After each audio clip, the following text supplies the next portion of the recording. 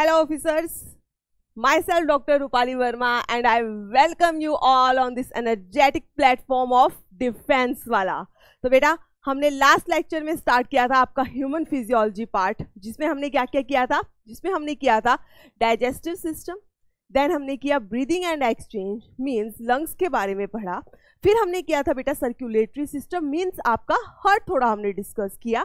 आज हम human physiology को ही आगे कंटिन्यू करेंगे। दैट इज़ पार्ट टू जिसमें हम आज क्या डिस्कस करने वाले हैं, हम डिस्कस करेंगे बेटा human excretory system then nervous system और एंड में हम करेंगे एंडोक्राइन सिस्टम और इसी के साथ आपका ह्यूमन फिजियोलॉजी पार्ट जो है वो पूरा कंप्लीट हो जाएगा। ठीक है?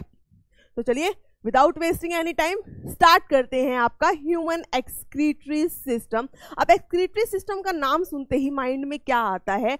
कुछ वेस्ट प्रोडक्ट हमारी बॉडी के अंदर बनता है, जिसे हमने बाहर निकालना है। किस फॉर्म में बाहर निकाल रहे हैं? यूरिन की फॉर्म में। अब उस यूरिन के अंदर जो हमारा मेन एक्सक्रीटरी वेस्ट प्रोडक्ट है, वो क्या होता है? वो होता है बेटा यूरिया ठीक है? तो ये बात आप याद रखेंगे कि यहाँ हम लिख देते main excretory waste product is urea क्या है बेटा? यूरिया अब एक बात और लिख लेते हैं इसके अंदर। अब ये यूरिया जो है यूरिया इज़ फॉर्म्ड इन कहा बनता, कहाँ पर है? It is formed in liver liver में बनता है but excreted out out through kidney ठीक है बेटा? ये बात हम याद रखेंगे, जो हमारा मेन एक्सक्रीटरी वेस्ट प्रोडक्ट है दैट इज़ यूरिया ठीक है? वो बनता कहाँ पर है? लीवर में बनता है, ठीक है? और एक्सक्रीट आउट कहाँ से होता है? किडनी से होता है। चलिए एक बात और लिख लेते हैं इसके अंदर। लीवर में लीवर के अंदर जिस प्रोसेस से या जिस साइकिल से यूरिया बनता है, उस साइकिल का नाम जस्ट आप ध्यान रख लीजिए। उस साइकिल को हम कहते हैं बेटा, यूरिया की फॉर्मेशन ऑफ़ यूरिया की फॉर्मेशन इन द लीवर किस साइकिल या किस प्रोसेस से होती है, उसे हम कहते हैं ऑर्निथिन साइकिल ठीक है? फॉर्म्ड इन लीवर तो यहाँ पर हम एक ब्रैकेट करके लिख देते हैं ऑर्निथिन साइकिल किससे बनता है बेटा? ऑर्निथिन साइकिल से। इतनी बात क्लियर है? नॉर्मल है। ऐसे ही आपने अपने घर पे अगर लीजर्ड देखा हो तो कभी उनका देखा हो आपने वेस्ट प्रोडक्ट तो उसमें आप देखेंगे व्हाइट कलर का दिखता है आपको, ठीक है? तो उनका वेस्ट प्रोडक्ट क्या होता है बेटा? यूरिक एसिड होता है। ऐसे ही बर्ड्स का भी क्या होता है? यूरिक एसिड होता है। हमारा क्या है? यूरिया है। अब जो एक्वेटिक एनिमल्स होते हैं, जो बिल्कुल पानी में रहते हैं, उनका एक्सक्रीटरी वेस्ट प्रोडक्ट क्या होता है? अमोनिया क्या होगा? हमेशा अमोनिया होगा। ठीक है?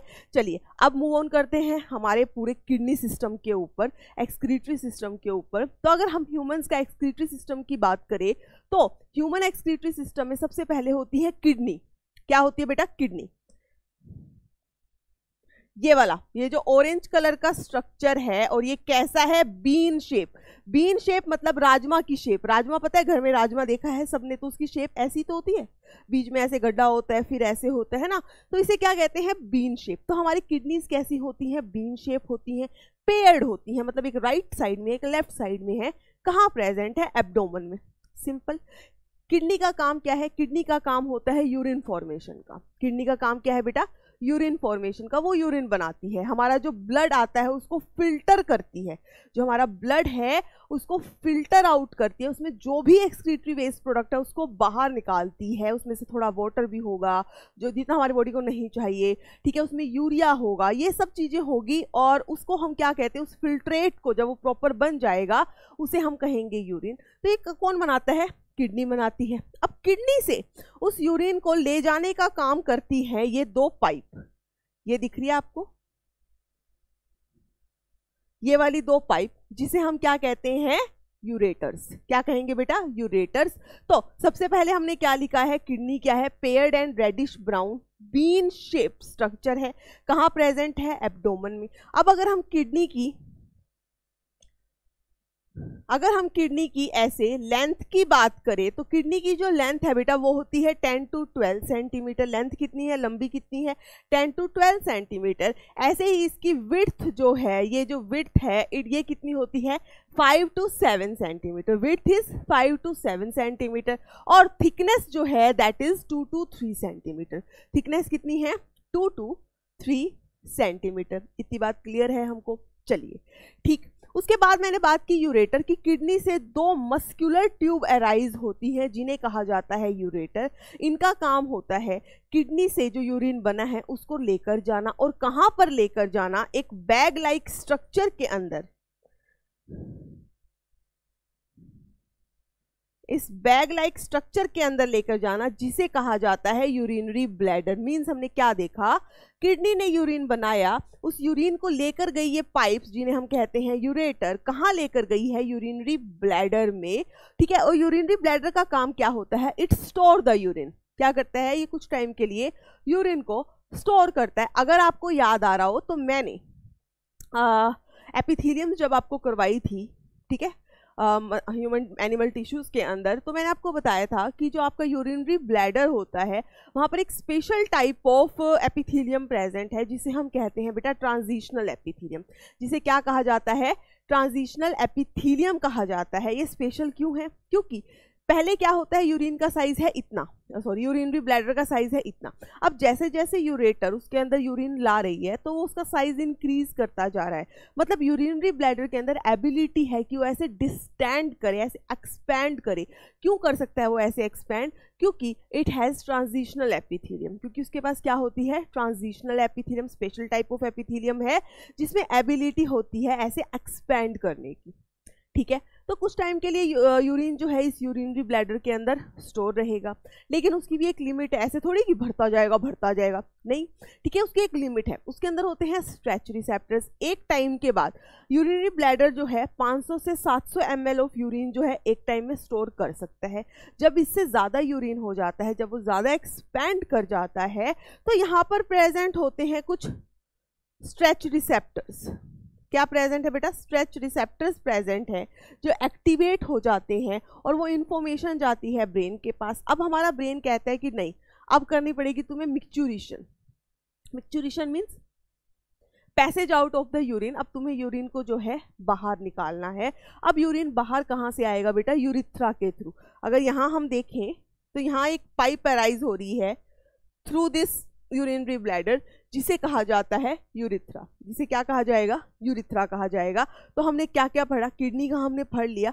देन यूरेटर क्या था? Paired muscular tube 20 to 20 twenty five to 30 centimetre of length है।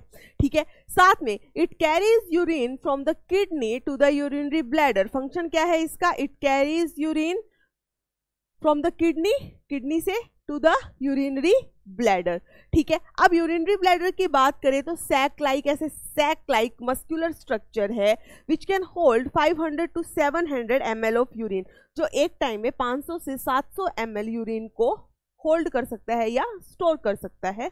फिर क्या है? यूरिथ्रा uh, फिर क्या बेटा? यूरिथ्रा पतली ट्यूब है। It start from the urinary bladder and opens outside the body जो कि बॉडी से बाहर की तरफ़ ओपन हो जाती है। ठीक है? फीमेल्स के अंदर अगर यूरिथ्रा की लेंथ को देखेंगे तो कम होती है और मेल्स के अंदर यूरिथ्रा की लेंथ जो है बेटा थोड़ी ज़्यादा रहती है। इतनी बात क्लियर है? चलिए। अब आगे देखते हैं। अब देखो फ़ंक्शन क्या है? किडनी के अगर हम फ़ंक्शन की बात करें तो फ़ंक्शन ऑफ़ किडनी फ़र्स्ट मैंने आपको बता दिया to remove the nitrogenous waste और हमारा नाइट्रोजीनस वेस्ट क्या है? इट इज़ यूरिया क्या है बेटा? यूरिया है, ठीक है? साथ में एक तो यूरिया को रिमूव करना, साथ में क्या करना maintain the water and electrolyte balance हमारे बॉडी के अंदर वाटर अगर बॉडी को वाटर की ज़रूरत है तो उसको वहाँ से एब्जॉर्ब करवाना ज़्यादा से ज़्यादा, ठीक है? और अगर ज़रूरत नहीं है, आप बहुत सफिशेंट अमाउंट ऑफ़ वाटर ले रहे हैं तो उसको बॉडी से बाहर निकालना, ठीक है? इलेक्ट्रोलाइट मतलब सोडियम पोटेशियम क्लोराइड इन सब आयंस का जो वैल्यू है ठीक है? बॉडी के अंदर उसे मेंटेन करना। ठीक है? तो किडनी जो है बेसिकली वाटर बैलेंस भी देख रही है आयंस का बैलेंस भी देख रही है।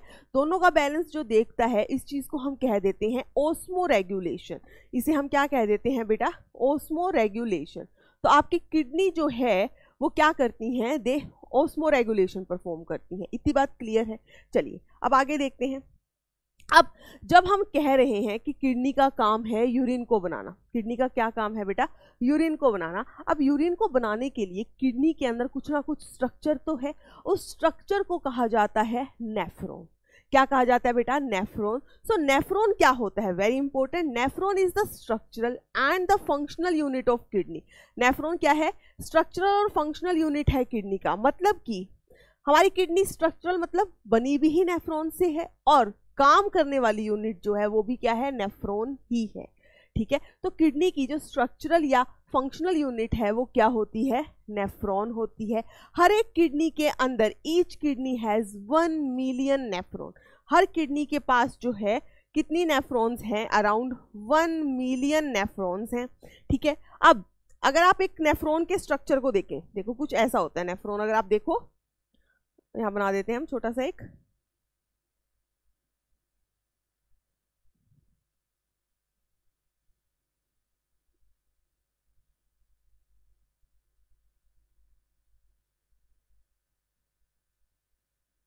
देखो बेटा, ये जो मैंने पूरा स्ट्रक्चर बनाया, इसका भी हम पूरा फिर फिर से डिस्कस करेंगे, इसे हम कहते हैं नेफ्रॉन क्या कहते हैं नेफ्रॉन ठीक है, अब इस नेफ्रॉन के पास जो है नेफ्रॉन के पास जो है, यहाँ से आती है रीनल आर्टरी यहाँ से आती है रीनल आर्टरी जो ऐसे डिवाइड होती है, ठीक? डिवाइड होने के बाद यहाँ से क्या स्टार्ट हो जाता है? ऐसे वेन समझ आ रही है बात? ठीक है? तो क्या लिखा? Blood to the nephron is supplied by renal artery ये नेफ्रोन है, इसके अंदर क्या आ रही है? Renal artery so this is renal artery. The artery gets divided into the tuft of capillaries called glomerulus. अब मैंने क्या कहा कि ये जो आपकी रीनल आर्टरी आ रही है, ये अंदर जाकर यहाँ पर क्या कर जाती है? डिवाइड कर जाती है।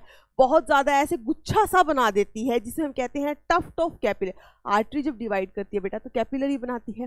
ठीक है? तो ये बहुत ज़्यादा डिवाइड कर जाती है, उसे हम कहते हैं टफ्ट ऑफ़ कैपिलरी जिसका एक परफेक्ट नाम दिया गया है, क्या? ग्लोमेरुलस ठीक है? सो दिस इज़ ग्लोमेरुलस समझ आ रही है? ठीक है रीनल आर्टरी आई, जैसे ही इस नेफ्रोन के अंदर गई। ये नेफ्रोन का जो ये वाला पार्ट है ना, इसे कप लाइक स्ट्रक्चर जो बना हुआ है, इसे हम कहते हैं बोमेन कैप्सूल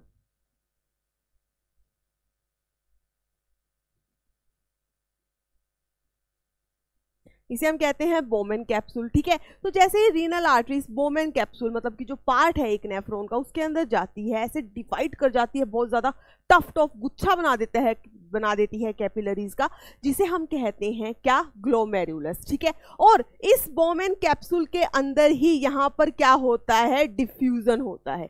क्या होगा? डिफ्यूजन होगा बेटा। यहीं से क्या आएगा? वाटर आएगा sodium ion chloride ion urea हर चीज़ जो है डिफ्यूज होके इस नेफ्रोन के अंदर आ जाती है। मतलब ये रीनल आर्टरी जो है, सारा का सारा वेस्ट प्रोडक्ट लेकर आ रही है ब्लड के अंदर। आता जा रहा है बार बार और यहाँ पर आकर यहाँ पर आकर क्या होता है? फिल्ट्रेशन यहाँ पर उस ब्लड की क्या हो रही है? फिल्ट्रेशन जो भी चीज़ बॉडी को ज़रूरत नहीं है, जो भी वेस्ट प्रोडक्ट है, वो सब यहाँ पर फ़िल्टर हो जाता है, ठीक है? वो फिल्ट्रेट जो बना ग्लोमेरुलर फिल्ट्रेट कहेंगे उसे, वो यहाँ से ऐसे मूव करेगा, यहाँ जाएगा यहाँ जाएगा और इसके थ्रू फिर बाहर हो जाता है।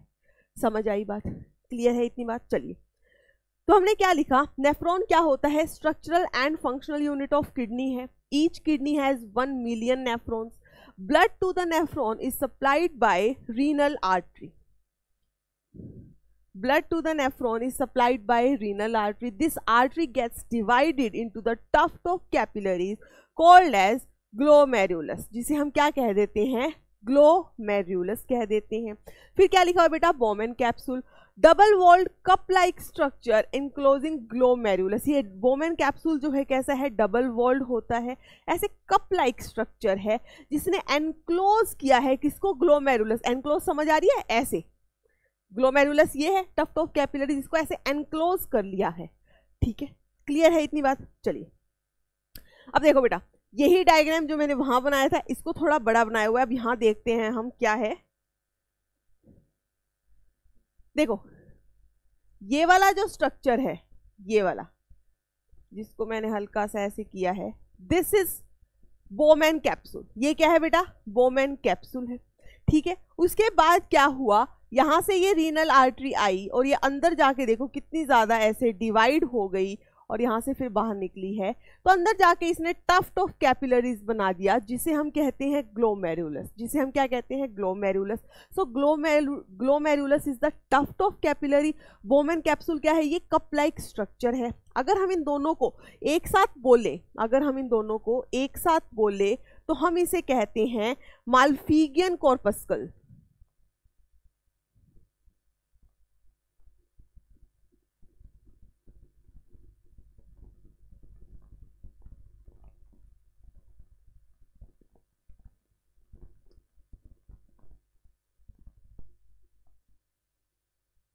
ठीक है बोमेन कैप्सूल और ग्रोमेरुलस को जब एक साथ बोले तो उसे हम बोलते हैं मालफीगियन कॉर्पस्कल या मालफीगियन कैप्सूल ठीक है?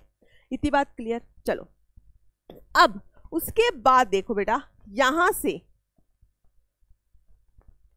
यहाँ से एक स्ट्रक्चर अराइज हो रहा है, ठीक है? इस स्ट्रक्चर को यहाँ तक, ये यहाँ तक, ठीक है? इस स्ट्रक्चर को कहा जाता है PCT that is proximal convoluted tubule ये क्या है? PCT that is proximal convoluted tubule हमने जो पीछे बनाया था, इसके अंदर ये जो है दिस इज़ पीसीटी ये क्या था? पीसीटी ठीक है? उसके बाद ये जो यू शेप स्ट्रक्चर है, इसे कहा जाता है बेटा loop of Henle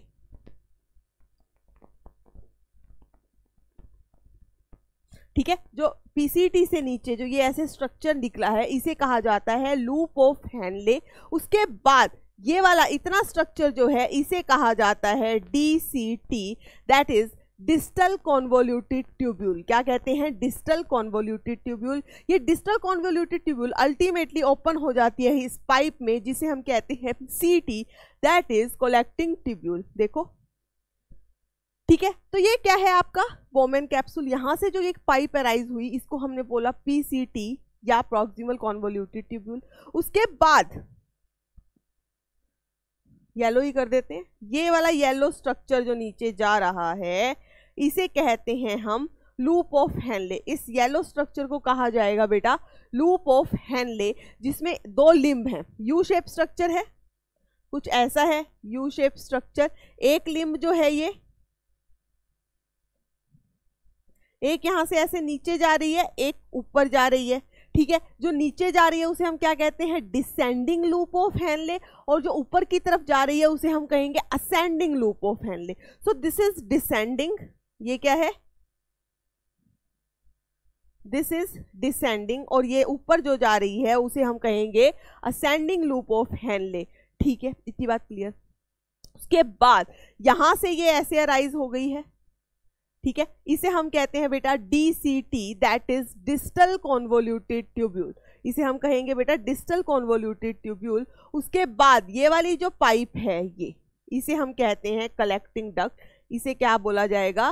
D C T that is distal convoluted tubule तो हम नेफ्रॉन को फिर से देखें तो क्या था? पहले था बोमेन कैप्सूल जहाँ पे ये टफ्ट ऑफ़ कैपिलरी जो ग्लोमेरुलस प्रेजेंट है, ठीक है? बोमेन कैप्सूल से जो पाइप अराइज हो रही है, उसे कहते हैं हम पीसीटी पीसीटी से आती है यू शेप पाइप जिसे कहते हैं लूपो फैनले जिसके पास दो लिम्स हैं, एक नीचे जा रही है दैट इज़ डिसेंडिंग जो ऊपर जा रही है वो असेंडिंग वहाँ से फिर एक पाइप अराइज हो रही है, जिसे कहते हैं डीसीटी डीसीटी अल्टीमेटली एक लंबी सी पाइप में ओपन होती है, जिसे कहते हैं C T that is collecting duct या कलेक्टिंग ट्यूब्यूल यहाँ पर जब ये, यहाँ पे यूरिन बनना शुरू हुआ, पूरा कहीं पर एब्जॉर्ब हो रहा है, कहीं पर कुछ हो रहा है, और अल्टीमेटली जब यहाँ पर आता है अल्टीमेटली यहाँ पर जब आता है तो वो क्या होता है? यूरिन होता है। यहाँ पर जब आएगा बेटा कलेक्टिंग डक्ट में तो वो क्या होगा? यूरिन जिसको हम अपनी बॉडी से पास आउट करते हैं। इतनी बात क्लियर अब देखो। एक बात और, ये जो एफ्रेंट आर्टीरियल यहाँ आई टफ्ट ऑफ़ कैपिलरीज में डिवाइड हुई, ठीक? फिर यहाँ से क्या निकली? है ईफ्रेंट आर्टीरियल निकली। अब ये ईफ्रेंट आर्टीरियल जो यहाँ से निकली है, ये देखो यहाँ पर जाकर कितना इसने जाल बना दिया है। बनाया इस लूप ऑफ़ हैंडले के पास जो है, इसने पूरा जाल बना दिया है। ये बिल्कुल इसके पैरेलल ही रन कर रही है। यहाँ इसे हम बोलते हैं वासा रेक्टा। यहाँ इसे हम क्या बोलते हैं बेटा? वासा रेक्टा, जो ये ईफ्रेंट आर्टीरियल एफ्रेंट मतलब जो ब्लड लेकर गई थी ईफ्रेंट जो वापस लेकर आ रही है, जब वो वापस आई तो उसने नीचे जाकर पूरा जाल बना दिया which is parallel to this loop of Henle यहाँ इसे हम कहते हैं वासा रेक्टा। क्या कहेंगे बेटा? वासा रेक्टा। क्लियर है इतनी बात? चलिए। अब आगे देखते हैं। पीसीटी याद आ गया पीसीटी कौन सी है? ठीक है तो पीसीटी में क्या है? नियरली जितना भी आपका फिल्ट्रेट बना, देखो, यहाँ से सारा का सारा क्या होगा? फिल्ट्रेट बनेगा, ठीक है? यहाँ से क्या होगा? फिल्ट्रेशन होगा ब्लड का। जो भी फिल्ट्रेट यहाँ बनता है, बहुत ज़्यादा वाटर वगैरह, बहुत कुछ बनता है, ठीक है? वो सारा का सारा पीसीटी में आएगा सबसे पहले। अब अब इतना ज़्यादा वाटर तो हम निकाल नहीं सकते। समझ लो इतना ज़्यादा वाटर हम नहीं निकाल सकते अपनी बॉडी से बाहर। तो मैक्सिमम अमाउंट ऑफ़ वाटर जो है, इस पीसीटी के अंदर रीएब्जॉर्ब होता है। पीसीटी उसको दोबारा से बॉडी को दे देती है एब्जॉर्ब करके। ठीक है? So nearly all the essential nutrients electrolyte waters are reabsorbed here और कितना 70 टू 80 परसेंट यहाँ रीएब्जॉर्ब हो जाता है। ठीक? पीसीटी के बाद क्या आता है बेटा? लूप ऑफ़ हैंडले क्या आएगा? लूप ऑफ़ हैंडले जो कि कैसा है? It is a U shape structure जिसमें एक डिसेंडिंग लिम्ब है और एक असेंडिंग लिम्ब है। जो लिम्ब ऐसे नीचे जा रही है। कैसा है? यू शेप स्ट्रक्चर है। ये वाली एक डिसेंडिंग है। ये है असेंडिंग ठीक है? ये जो डिसेंडिंग लिम्ब है it is permeable to water only यहाँ से ये क्या है? सिर्फ़ वाटर के लिए परमिएबल है। तो यहाँ पर क्या होगा? सिर्फ़ वाटर एब्जॉर्ब हो जाएगा। क्या होगा? वाटर एब्जॉर्ब हो जाएगा। ठीक है? उसके बाद जो अस, असेंडिंग लिम है जो ऊपर जा रही है it is permeable to electrolyte only mainly sodium ions समझनी ये बात? कि जो डिसेंडिंग लिम है लूप ऑफ़ हैंडले की वहाँ से सिर्फ़ वाटर एब्जॉर्ब हो सकता है और जो असेंडिंग लिम है वहाँ से सिर्फ़ आयंस एब्जॉर्ब हो सकते हैं। सिंपल बात है।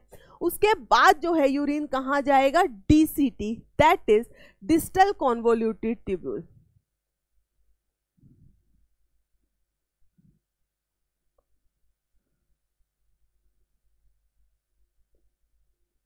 that is distal convoluted tubule ठीक है, यहाँ पर क्या होता है बेटा? बाइकार्बोनेट आयन का रिजॉर्प्शन होगा। ठीक है? यहाँ पर क्या होगा? रीएब्जॉर्प्शन होगा किसका? बाइकार्बोनेट आयंस का। फिर लास्ट में क्या आ जाता है? कोलेक्टिंग डक्ट यहाँ से भी क्या होता है? मेनली वाटर का रीजॉर्प्शन होता है और अल्टीमेटली यहाँ से क्या बन जाता है? यूरिन समझ लो बात को समझना है बेटा कि देखो, ये वाला ही स्ट्रक्चर देखते हैं हम। यहाँ पर ब्लड का फिल्ट्रेशन हुआ। बट ब्लड का क्या हुआ? फिल्ट्रेशन हुआ। उसके अंदर जो वाटर था आयंस थे वेस्ट प्रोडक्ट थे, सब फ़िल्टर हो गए। बट उतना सब कुछ हमें बॉडी से बाहर नहीं निकालना है। तो ये नेफ्रॉन क्या करेगा? जो चीज़ हमारी बॉडी को ज़रूरत है, उन सबको एब्जॉर्ब करवा लेगा और जिसकी ज़रूरत नहीं है, वो ही बाहर जाएगी। ठीक है? तो यूरिन जो है, जो फिल्ट्रेट बेसिकली यहाँ से ग्लोमेरुलस से जो है, क्या हुआ? फिल्ट्रेशन हुई है। यहाँ पर जो चीज़ बनी, जो फिल्ट्रेट जो पानी की फॉर्म आई, उसे हम कहते हैं ग्लोमेरुलर फिल्ट्रेट क्या कहते हैं? ग्लोमेरुलर फिल्ट्रेट कहते हैं। ठीक है? अब ये ग्लोमेरुलर फिल्ट्रेट जो है बहुत ज़्यादा बनता है। मैं आपको लिखवाऊँगी कितना बनता है। बहुत ज़्यादा बनता है। अब इतना ज़्यादा जो बनता है, हम उसको बॉडी से बाहर नहीं निकाल सकते। तो ये नेफ्रॉन में जब मूव करता है तो कहीं पर बहुत ज़्यादा रिजॉप्शन होती है या किसी चीज़ की ज़रूरत नहीं होती तो उसको बाहर निकाल दिया जाता है। अल्टीमेटली ये कोलेक्टिंग डक्ट डक्ट में आकर क्या बन जाता है? यूरिन जिसको हम, हमारी बॉडी बॉडी से बाहर निकालती है। इतनी बात क्लियर है सबको? चलिए। तो ये हम कर चुके हैं बेटा। फिर इसके अंदर यूरिन का कुछ बताया हुआ है कि यूरिन कितना बन रहा है। उससे पहले मैं आपको बता देती हूँ और इसमें एक क्वेश्चन भी आया हुआ है, ठीक है? That is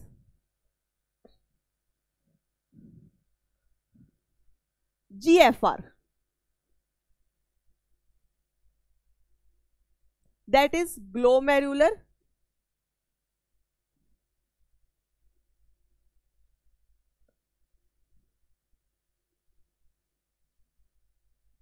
filtration rate. Glomerular filtration rate, GFR is glomerular filtration rate means glomerulus जो है वहाँ से कितना फिल्ट्रेट एक टाइम में बनता है? समझ आ रही है बेटा? ये आपका था ग्लोमेरुलस सॉरी ये आपका बोमेन कैप्सूल है ठीक? यहाँ पर क्या आती है? ये आर्टरी आती है और अंदर जाके जो है ऐसे टफ्ट ऑफ़ कैपिलरीज बनाती है। और फिर यहाँ से ऐसे बाहर निकल जा रही है। ठीक, अब यहाँ पर क्या होता है? ये फिल्ट्रेशन होती है, जिसे हम क्या कहते हैं? ग्लोमेरुलर फिल्ट्रेट ग्लोमेरुलर फिल्ट्रेट अब जीएफआर क्या होता है? जिस रेट से ये फिल्ट्रेट जिस रेट से ये फिल्ट्रेट बना फिल्ट्रेट समझ आ रही है? ब्लड में जो भी वेस्ट मटेरियल था, पानी था सब कुछ यहाँ पे क्या हो गया? ब्लड एक बार फ़िल्टर हो गया। ब्लड क्या हो गया बेटा? फ़िल्टर हो गया। इसकी साफ़ सफ़ाई हो रही है ब्लड की यहाँ पर। ठीक है?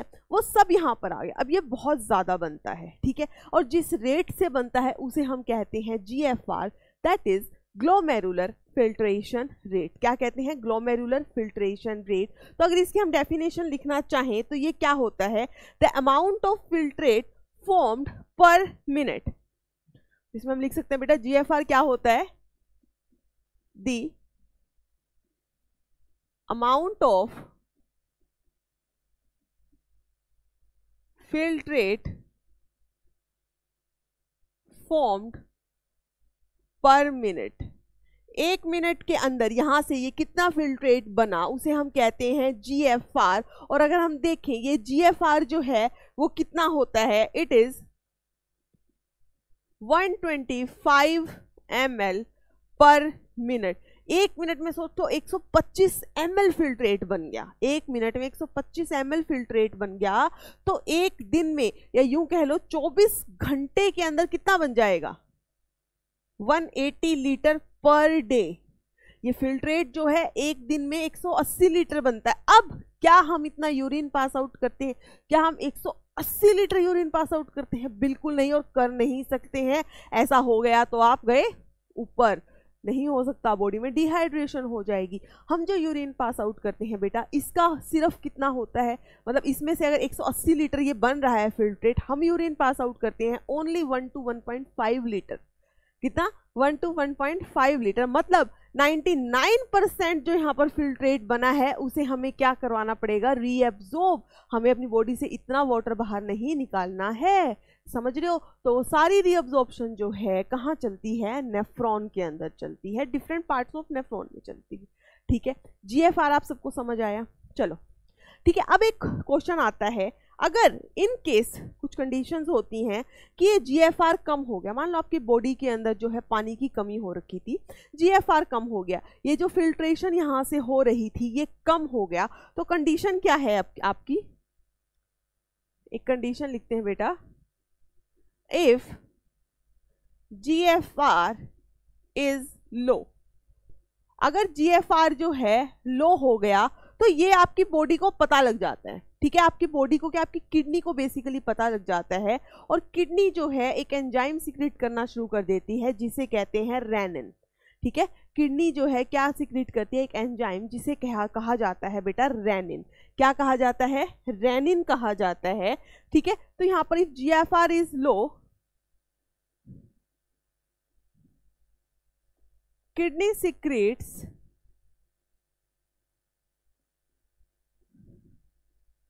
renin kidney क्या सिक्रेट करती है? रेनिन अब ये रेनिन क्या करता है? हमारे जो ब्लड है, हमारे ब्लड के अंदर होता है एंजियोटेंसिनोजन ठीक है इनएक्टिव फॉर्म में है, जिसके आगे जन आ जाता है नॉर्मली वो इनएक्टिव फॉर्म बोला जाता है। तो हमारे ब्लड के अंदर होता है। ब्लड में क्या होता है बेटा? एनजीओ टेंसिनो जन। ठीक है, ये कन्वर्ट होता है किसमें? एंजियोटेंसिन वन के अंदर। और किसकी हेल्प से कन्वर्ट होता है? रैनिन की हेल्प से। ये रैनिन जो है, इस एंजियोटेंसिनोजन जो कि क्या था? इनएक्टिव था। जो कि क्या था बेटा? इनएक्टिव था। उसको कन्वर्ट करता है एंजियोटेंसिन वन में। एंजियोटेंसिन वन जो है, ये कन्वर्ट हो जाता है अगेन एंजियोटेंसिन टू के अंदर। और ये एंजियोटेंसिन टू जो है, ये क्या होता है? वेजो कॉन्स्ट्रिक्टर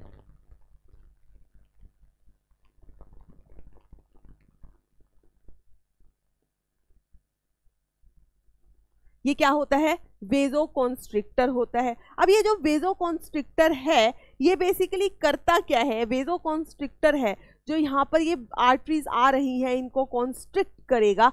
जब आप किसी पाइप पाइप में से जब पानी जाता है, आप उसको एकदम से दबाते हैं तो पानी की स्पीड क्या होती है? तेज होती है? बिल्कुल होती है। ठीक है? तो जैसे ये वेजो कॉन्स्ट्रिक्टर है, इसको कॉन्स्ट्रिक्ट करेगा तो यहाँ से ब्लड का जो फ्लो है, वो तेज होगा और ज़्यादा से ज़्यादा फिल्ट्रेट बनेगा, जो कि पहले कम हो गया था। हम, जैसे ही जीएफआर कम हुआ किडनी एक मैकेनिज्म शुरू कर देती है कि किसी तरह से वो जीएफआर को फिर से नॉर्मल लेवल पे लाए तो किडनी क्या सिक्रीट करती है? रेनिन। ये रेनिन क्या करता है? ब्लड के अंदर एंजियोटेंसिनोजन है, जो इनएक्टिव फॉर्म में प्रेजेंट है। उसको कन्वर्ट करवाता है एंजियोटेंसिन वन में देन टू में। टू इज़ अ वेजोकॉन्स्ट्रिक्टर अब ये वेजोकॉन्स्ट्रिक्टर जो है, ये अल्टीमेटली क्या करता है? It increase the blood pressure और ultimately increase in G F R ultimately क्या होता है? जीएफआर जो है वो इंक्रीज हो जाता है और यही हमने करवाना था। ठीक है? इतनी बात क्लियर है। चलो। अब क्वेश्चन आया था बेटा, इसमें से कुछ पी वाई क्यू आया था तो ये आपको ध्यान रखना है। ये जो है बेसिकली एक पी वाई क्यू का है। प्रीवियस ईयर क्वेश्चन है तो आप ध्यान रखेंगे। एक चीज़ और लिख लो बेटा इसके अंदर। एक होता है A D H that is anti diuretic hormone anti diuretic hormone ठीक है secreted by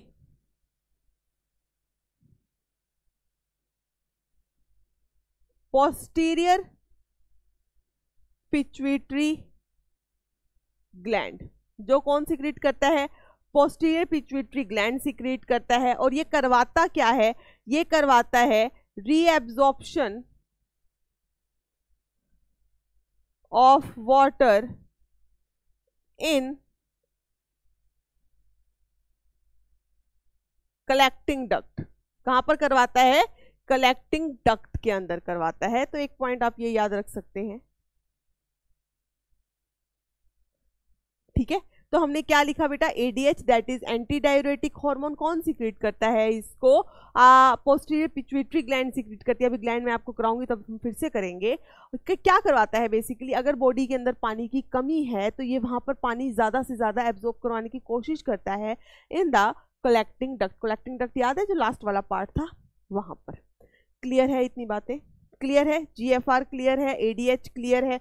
ठीक है? तो चलिए, अब आगे चलते हैं हम। अब हमें दिया हुआ है कि यूरिन जो है, एक दिन में कितना बनता है?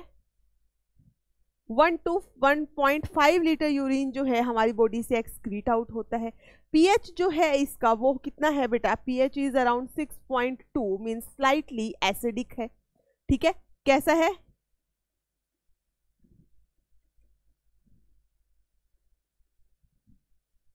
स्लाइटली एसिडिक होता है। देन वाटर कितना है? यूरिन किससे बना? 95 परसेंट वाटर है। उसके अलावा यूरिया जो आपका मेन नाइट्रोजिनस वेस्ट प्रोडक्ट है, वो कितना होता है? टू परसेंट या 25 टू 30 ग्राम पर डे ठीक है? क्रिएटिनिन कितना है? Zero to one percent then uric acid कितना होता है बेटा? Zero to zero point point zero three percent समझ आ रही है? Zero to point zero three percent काफ़ी कम होता है। ठीक है? इतनी बात क्लियर है? तो ये है यूरिन फिर हीमोडायलिसिस हीमोडायलिसिस मतलब बेसिकली क्या है? आर्टिफिशियल किडनी कुछ, आपने सुना होगा, कुछ लोगों की जब किडनी खराब हो जाती है तो उन्हें बार बार क्या करवाना पड़ता है? हीमोडायलिसिस वो हॉस्पिटल्स जाते हैं, उनका पूरा ब्लड जो है, उसको फ़िल्टर किया जाता है, कैसे? बॉडी से बाहर निकाल कर बॉडी से बाहर निकाल कर ब्लड को फ़िल्टर किया जा रहा है। इस प्रोसेस को कहा जाता है हीमोडायलिसिस। मीन्स क्या हुआ? जब उनकी खुद की जो किडनी, जो उनकी फिल्ट्रेशन मशीन थी, खुद की, हमारी फिल्ट्रेशन मशीन क्या है? किडनी है, वो खराब हो गई। तो क्या किया? ब्लड के अंदर तो अब यूरिया अगर बढ़ता रहेगा तो बड़ी दिक्कत हो जाएगी। डेंजरस है वो तो। ठीक है तो अब उसको साफ़ तो करना पड़ेगा ब्लड को। तो ब्लड को बॉडी से बाहर निकालते हैं एक मशीन में डालते हैं। उस मशीन में उसकी सफ़ाई होती है। उसके बाद उस ब्लड को हमारी बॉडी के अंदर फिर से ट्रांसफ्यूज किया जाता है। ठीक है इस प्रोसेस को कहा जाता है बेटा हीमोडायलिसिस और we can say artificial kidney ठीक है सो so, क्या है? It is the artificial purification of blood हमें क्या करना है? हमारा ब्लड जो हमारी बॉडी अब प्योरीफाई नहीं कर पा रही है, उसको क्या करना पड़ेगा? प्योरीफाई फिल्ट्रेट करना पड़ेगा। So it is artificial purification of the blood it involve directing blood to an external machine machine हमें कहाँ ब्लड को कहाँ दे रहे हैं? हम एक एक्सटर्नल मशीन को दे रहे हैं where it is filtered before being return to the body body को आने से, के पास आने से पहले उसको फ़िल्टर किया जाएगा। ठीक है? अब जो, चलो देखते हैं एक बार, होता क्या है? देखो बेटा ये एक इंसान है, इसकी किडनी खराब होगी भाई, ठीक है। तो अब इसकी किडनी जब खराब थी तो क्या किया गया? ये है आपकी एक पूरी dialysing machine this is the artificial kidney machine जहाँ पर क्या होता है? हीमोडायलिसिस होता है बेसिकली क्या किया? पहले पेशेंट के बॉडी से ब्लड को निकाला गया। वो ब्लड जो है, यहाँ गया। कहाँ? इस मशीन के अंदर, ठीक है? यहाँ पर आपको क्या दिख रहा है? ये रेड कलर की जो है, ऐसे ट्यूब्स हैं ठीक है? सो ट्यूबिंग्स हैं जो सिलेक्टिवली परमिएबल हैं, ये बेसिकली बनी किसकी हैं? They are the cellophane membrane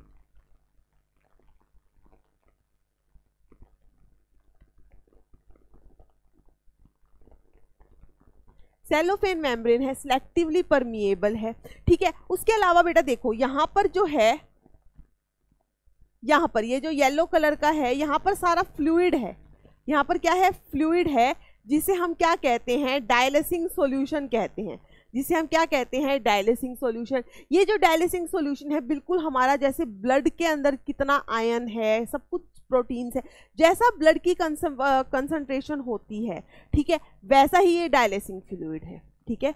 जैसा हमारा ब्लड है, ब्लड के अंदर, ठीक है? जो भी चीज़ प्रेजेंट है, वो सब इस डायलिसिंग फ्लूड में प्रेजेंट है, एक्सेप्ट यहाँ पर यूरिया नहीं होता, यहाँ पर यूरिया नहीं होता बेटा, क्योंकि यूरिया ही तो हमें हमारे ब्लड से बाहर निकालना है। अब ये जो सेलोफेन मेम्ब्रेन है इट इज़ सेलेक्टिवली परमिएबल ये कैसी होती है बेटा? सेलेक्टिवली परमिएबल यहाँ से सिर्फ़ यूरिया ही बाहर निकल पाएगा आरबीसी वगैरह बाहर नहीं निकल सकती हैं।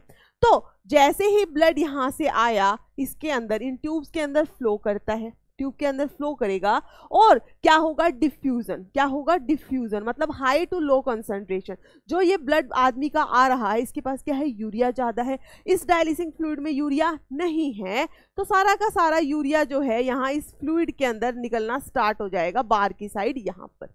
ठीक है? और ये जो डायलिसिंग फ्लूइड है, ये बार बार रिप्लेस होता रहता है। गंदा वाला यहाँ गिर जाएगा, यहाँ से अच्छा बार बार जाता रहेगा।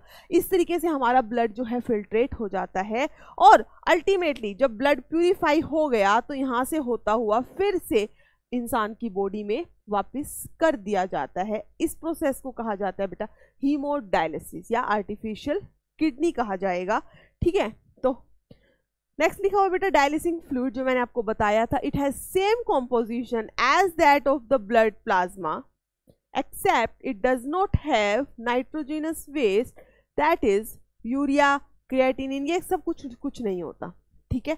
डायलिसिंग फ्लूड समझ आ गया, जो वो पाइप्स हैं ये जो पाइप्स हैं इनके अराउंड जो येलो कलर का ये फ्लूइड दिख रहा है, जिसको मैंने ब्लू डॉटिंग कर दी है दैट इज़ डायलिसिंग सॉल्यूशन या डायलिसिंग फ्लूइड इसका जो कॉम्पोजिशन है इट इज़ सेम जैसा कि हमारे ब्लड के प्लाज्मा का होता है, बिल्कुल वैसा कॉम्पोजिशन है.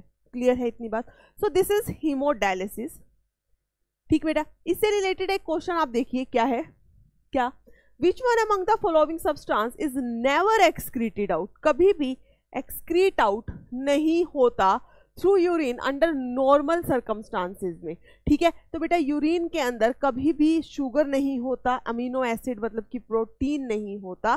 तो यूरिन नॉर्मल कंडीशंस में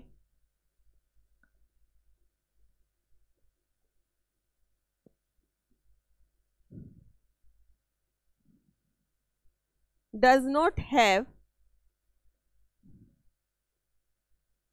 amino acid sugar अगर यूरिन में शुगर होगा तो आपको क्या हो गई? डायबिटीज़ हो गई है डायबिटीज़ मेलाइटस हो गई है। अगर अमीनो एसिड है देखो प्रोटीन जो है वो आ, प्रोटीन जब जो आपका ग्लोमेरुलस है, जहाँ पे फिल्ट्रेशन होनी स्टार्ट हुई थी, वहाँ से प्रोटीन फ़िल्टर आउट नहीं होता।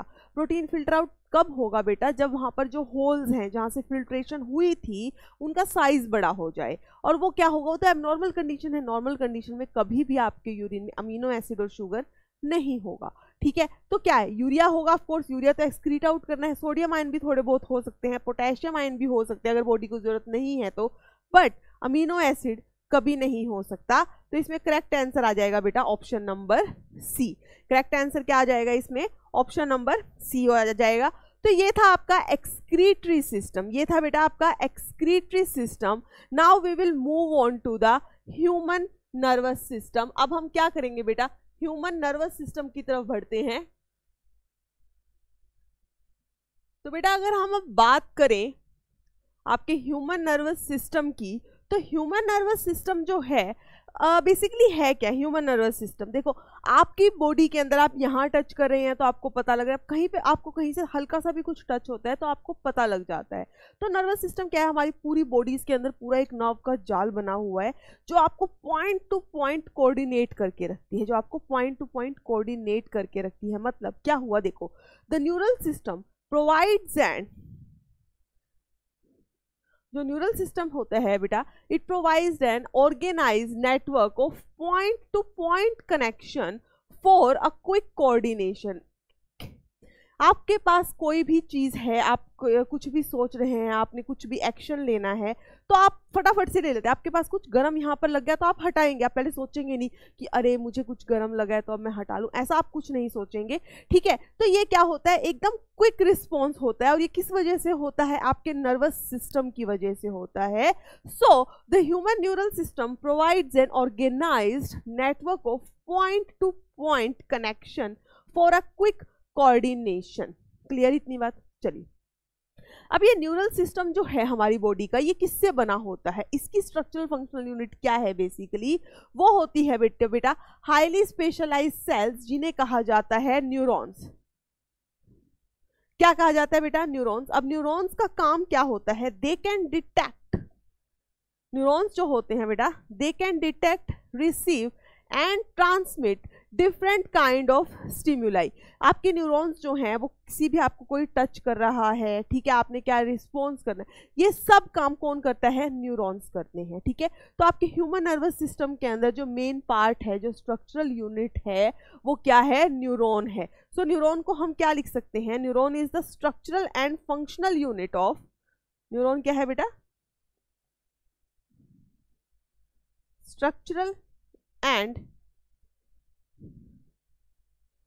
functional unit of nervous system ठीक है? तो न्यूरॉन्स क्या होते हैं? Neurons are the structural and the functional unit of the nervous system चलिए, आगे देखते हैं। अब न्यूरॉन्स बेसिकली हैं क्या? न्यूरॉन्स क्या होते हैं? They are the excitable cell बहुत इंपॉर्टेंट है, याद रखना है। न्यूरॉन्स कैसे होते हैं बेटा? They are the excitable cells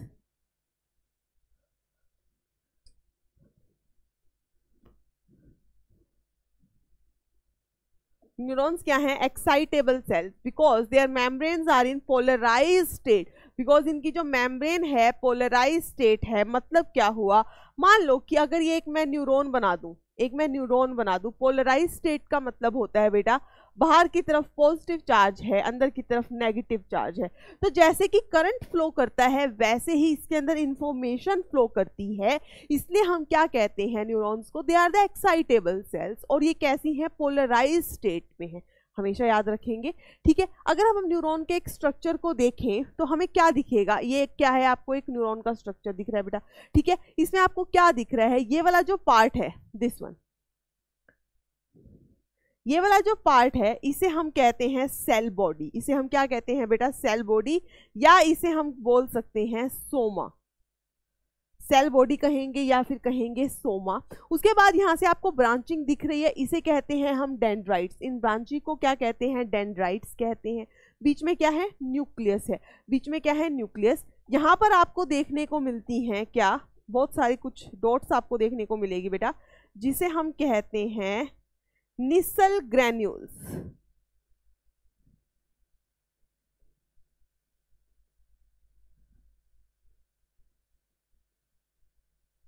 ठीक है? यहाँ पे आपको सेल बॉडी के अंदर और डेंड्राइट्स के अंदर, बस सिर्फ़ सेल बॉडी और डेंड्राइट्स के अंदर कुछ डॉट्स दिखाई देंगी, जिसे हम कहते हैं निसल ग्रेन्यूल्स बेसिकली ये क्या होती हैं? They are the rough endoplasmic reticulum ऐसे बोल सकते हैं हम इनको. राइबोसोम्स होती हैं बेसिकली ठीक है? इतनी बात क्लियर अब ये सेल से, जो सेल बॉडी है, यहाँ से एक पाइप लाइक स्ट्रक्चर जा रहा है, जिसे हम कहते हैं एक्जोन जिसे हम क्या कहेंगे बेटा? एक्जोन इस पाइप लाइक स्ट्रक्चर को क्या कहते हैं? एक्जोन अब इस एक्जोन में आप देखेंगे तो येलो कलर की कवरिंग प्रेजेंट है. देख रहे हो? ये. कहीं कहीं पर ये कवरिंग प्रेजेंट है. इस कवरिंग को कहा जाता है माइलिन शीत और इस माइलिन शीत को बनाता कौन है? ये श्वान सेल्स ये क्या है? श्वान सेल्स हैं. ये श्वान सेल्स जो है, वो क्या बनाते हैं? माइलिन शीत बनाते हैं। माइलिन शीत बेसिकली क्या है? इंसुलेटिंग लेयर है। माइलिन शीत क्या है बेटा? इंसुलेटिंग लेयर इंसुलेटिंग लेयर है। ये क्या है? इंसुलेटिंग लेयर है। यहाँ से इंफॉर्मेशन स्टार्ट ट्रांसफ़र नहीं हो सकता है। बेसिकली होता क्या है? देखो, मान लो आपके न्यूरॉन्स को जो है, कुछ इंफॉर्मेशन ट्रांसफ़र करनी है। आपको किसी ने टच किया, अगर आपको किसी ने टच किया है तो इन्फॉर्मेशन आपके ब्रेन को जाएगी, ठीक है? कैसे जाती है? जैसे आपको टच किया, वो इन्फॉर्मेशन आती है पहले डेंड्राइट के पास। डेंड्राइट से होते हुए ऐसे जाती है। एक्जोन से होते हुए आगे ये एक्जोन टर्मिनल्स एक्जोन के बाद क्या आता है बेटा? फिर से डिवीज़न हो जाती है, जिन्हें हम कहते हैं एक्जोन टर्मिनल्स यहाँ से फिर आगे की तरफ़ जाती है। दूसरी नर्व्स के पास जाएगी या मसल के पास जाएगी। ठीक है, ऐसे जाती है। अब होता क्या है? जहाँ पर ये माइलिन शीथ प्रेजेंट होती है, वहाँ से ये इंफॉर्मेशन नॉर्मली ट्रेवल नहीं कर पाती है। जहाँ माइलिन शीथ प्रेजेंट होगी, वहाँ से इंफॉर्मेशन ट्रैवल नहीं कर पाती। तो आप देखेंगे इसमें बीच में जो है कुछ पोर्शन, बीच में ये वाला। ये ऐसा बीच बीच में कुछ कुछ पोर्शन है जहाँ पर माइलिन शीट्स नहीं है। इस पोर्शन पे क्या है बेटा? माइलिन शीट नहीं है। इस पोर्शन को कहा जाता है क्या? नोड्स ऑफ़ रेनवियर, जहाँ पर माइलिन शीत नहीं होती। तो नोड्स ऑफ़ रेनवियर पे हम क्या लिख सकते हैं? No myelin sheath. यहाँ पर माइलिन शीत नहीं होती। तो जब इन्फॉर्मेशन यहाँ से चलती हुई आती है माइलिन शीत तो इन्फॉर्मेशन को ट्रांसफ़र नहीं होने देगी तो इन्फॉर्मेशन कूदना स्टार्ट कर देती है। ऐसे ऐसे। ये कूद कूद कर आगे जा रही है। इस टाइप के कंडक्शन को हम कहते हैं saltatory conduction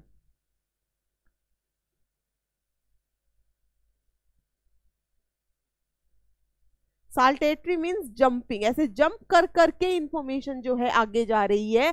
और क्योंकि अब जंप देखो, एक तो तुम सीधा पैदल चल के जाओ, या तुम जंप करते हुए जाओ तो जब तुम जंप करोगे तो जल्दी पहुंचोगे। सिंपल सी बात है। तो जहाँ पर ये माइलिन शीट होती है, अब वो तो ट्रांसफ़र तो नहीं होने देती बट उसकी वजह से इंफॉर्मेशन को जंप करना पड़ता है तो यहाँ पर फास्टर कंडक्शन होती है। माइलिन शीट जहाँ प्रेजेंट होगी बेटा नोड्स ऑफ़ रेनवियर की वजह से यहाँ पर क्या होगी? फास्टर कंडक्शन ठीक है क्लियर है। तो नॉब में क्या होता है, एक सेल बॉडी होती है, इधर ब्रांचिंग होती है, जिसे डेंड्राइट कहते हैं। सेल बॉडी से अराइज होती है एक्जोन एक्जोन से आ जाते हैं एक्जोन टर्मिनल यहाँ से आगे इन्फॉर्मेशन या तो दूसरी नर्व के पास जाएगी या मसल के पास जाएगी। तो इन्फॉर्मेशन ट्रेवल कैसे करती है? इन्फॉर्मेशन ट्रेवल कैसे की बेटा? पहले गई।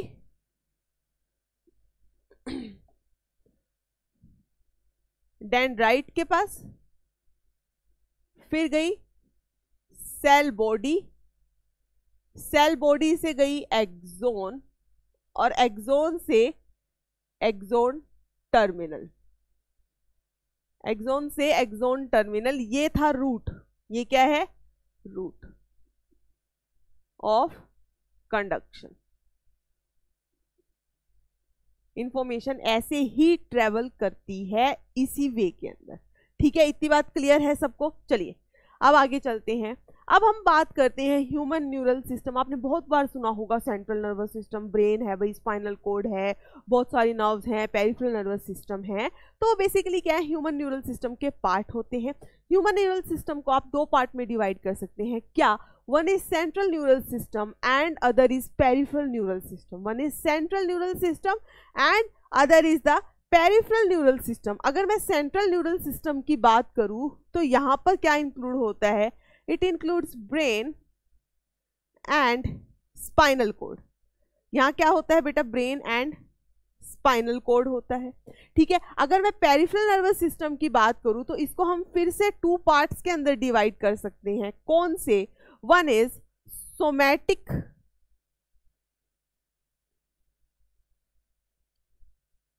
nervous system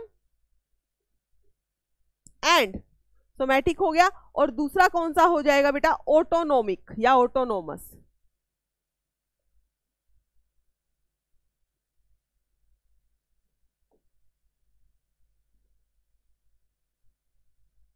ठीक है? तो क्या है? सेंट्रल नर्वस सिस्टम है एंड पेरिफेरल नर्वस सिस्टम है। होता क्या है बेसिकली देखो। मान लो कि ये तो था ब्रेन, ठीक, ये थी spinal cord. This is brain ठीक है? और ये क्या है? Spinal cord. अब इस ब्रेन और स्पाइनल कोड से जो है कुछ नर्व्स निकलती हैं ऐसे। ये क्या बना रही हैं? पेरिफ्रल नर्वस सिस्टम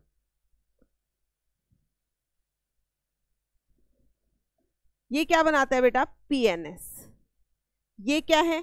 सीएनएस है। समझ आ रही है? बीच में क्या है? सेंट्रल नर्वस सिस्टम है मेन आपकी बॉडी की एक्सिस सेंट्रल नर्वस सिस्टम से बनी है। यहाँ ब्रेन हो गया, पीछे की तरफ़ क्या हो गई? स्पाइनल कोड हो गई, ठीक है? अब यहाँ से जो भी नर्व्स निकलती हैं पेरीफ्री पे जा रही हैं तो उसे हम कहते हैं पेरिफेरल नर्वस सिस्टम क्या कहेंगे बेटा? पेरिफेरल नर्वस सिस्टम अब इस पेरिफेरल नर्वस सिस्टम को दो पार्ट में हमने डिवाइड कर दिया, किसमें? सोमैटिक में और ऑटोनोमिक ऑटोनोमिक का मतलब क्या होता है? जो अपनी अपनी मर्ज़ी का खुद मालिक, सिंपल, ठीक है? तो ऑटोनॉमिक नर्वस सिस्टम जो है हमारे कंट्रोल में नहीं होता है। यहाँ पर जो नर्व्स हैं वो किसको सप्लाई कर रही हैं? हमारे ऑर्गन्स को इन्वोल्यूंट्री ऑर्गन्स को। जैसे हमारी इंटेस्टाइन है, हमारे कंट्रोल में नहीं है, वो कैसे काम करने वाली है? हमारी स्मूथ वहाँ पे स्मूथ मसल्स होती हैं, जो हमारे कंट्रोल में नहीं होती हैं। तो ऑटोनॉमिक नर्वस सिस्टम में हम क्या लिख सकते हैं? Supplies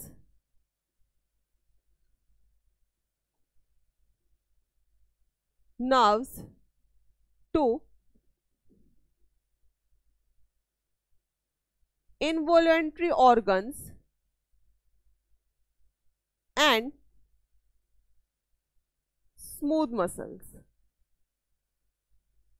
smooth muscles ठीक है और कुछ जैसे स्केलेटल मसल अभी हाथ को हम मूव कर रहे हैं तो ये हमारे कंट्रोल में है, और हम मूव कर रहे हैं तो मसल तो है ही स्केलेटल मसल की वजह से मूव कर रहे हैं। अब हमारे दिमाग ने ही, हमारे उसने इंफॉर्मेशन दी होगी ना कि तुम हाथ को ऐसे करो या ऐसे करो, ये करो, वो करो। इन्फॉर्मेशन कौन दे रहा है? सेंट्रल नर्वस सिस्टम ब्रेन दे रही है। तो यहाँ पर क्या है? सोमैटिक नर्वस सिस्टम में क्या इंक्लूड होगा? वो नर्व जो आपकी स्केलेटल मसल को प्रोवाइड करती हैं, ठीक है? तो ये क्या है बेटा? It supplies nerves to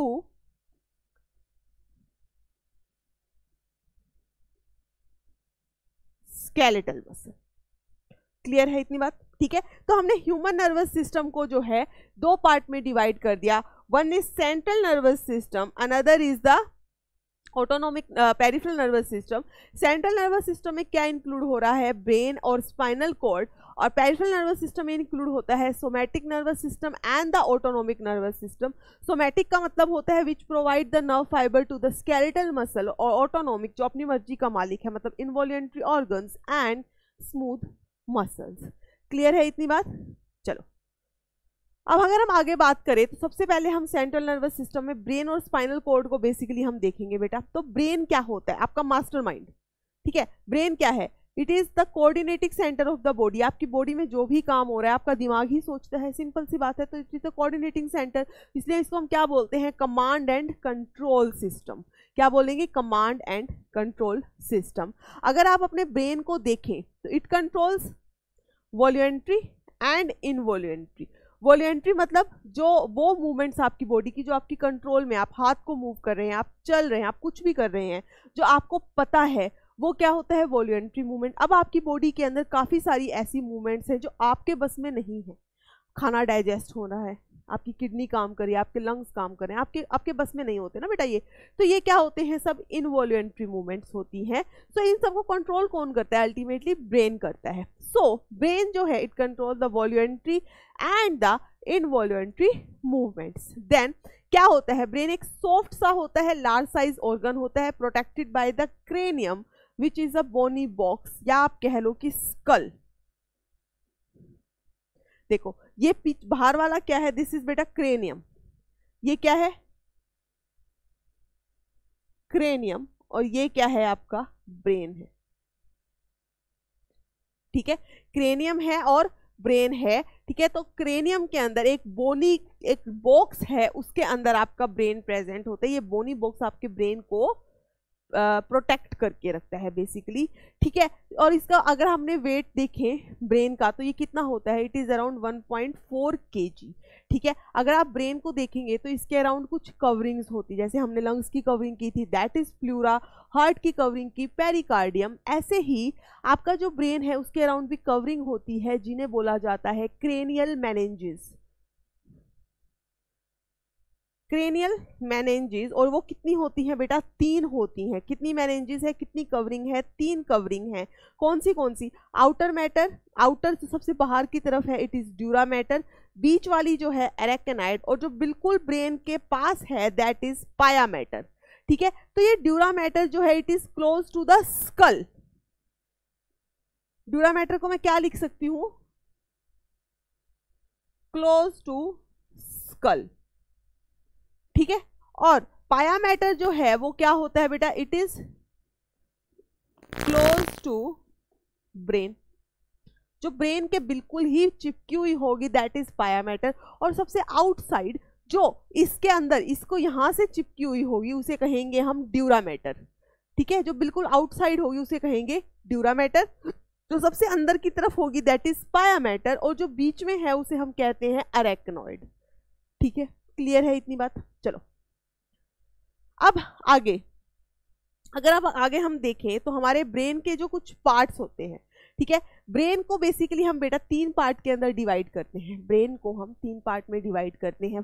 Forebrain midbrain and hindbrain forebrain midbrain and hindbrain जिसमें से फोर ब्रेन जो है, वो क्या होता है? सबसे बड़ा पार्ट होता है। Forebrain is the largest part of the brain forebrain क्या होता है बेटा? सबसे बड़ा पार्ट होता है। जितना भी आपको ये ऊपर का स्ट्रक्चर दिख रहा है this is the fore brain ये क्या होता है? फोर ब्रेन होता है। ठीक है? यहाँ पे जो मिड ब्रेन है, वो अंदर की तरफ़ छुपा हुआ होता है, दिख ही नहीं रहा। और जो नीचे के ये तीन स्ट्रक्चर दिख रहे हैं ना, ये रेड और ग्रीन वाला ये क्या होता है? आपका हाइंड ब्रेन होता है ठीक है? तो चलो पहले देख लेते हैं। सो so, ब्रेन जो है उसके तीन मेजर पार्ट्स हैं। ब्रेन जो है उसके थ्री मेजर पार्ट्स हैं। कौन से कौन से? One is forebrain then midbrain then hindbrain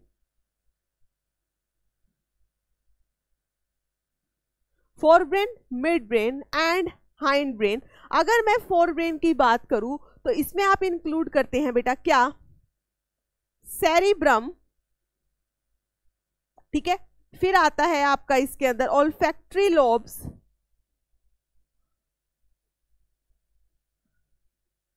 then यहाँ पर आएगा बेटा आपका डायनसेफेलोन और इस डायनसेफेलोन में आप इंक्लूड करते हैं क्या? थैलेमस एंड हाइपोथैलेमस समझ आई बात? थैलेमस हाइपोथैलेमस से सुना होगा सैरी ब्रम भी सुने होंगे। ठीक है तो फोर ब्रेन के अंदर सबसे बड़ा पार्ट है। फोर ब्रेन क्या होता है बेटा?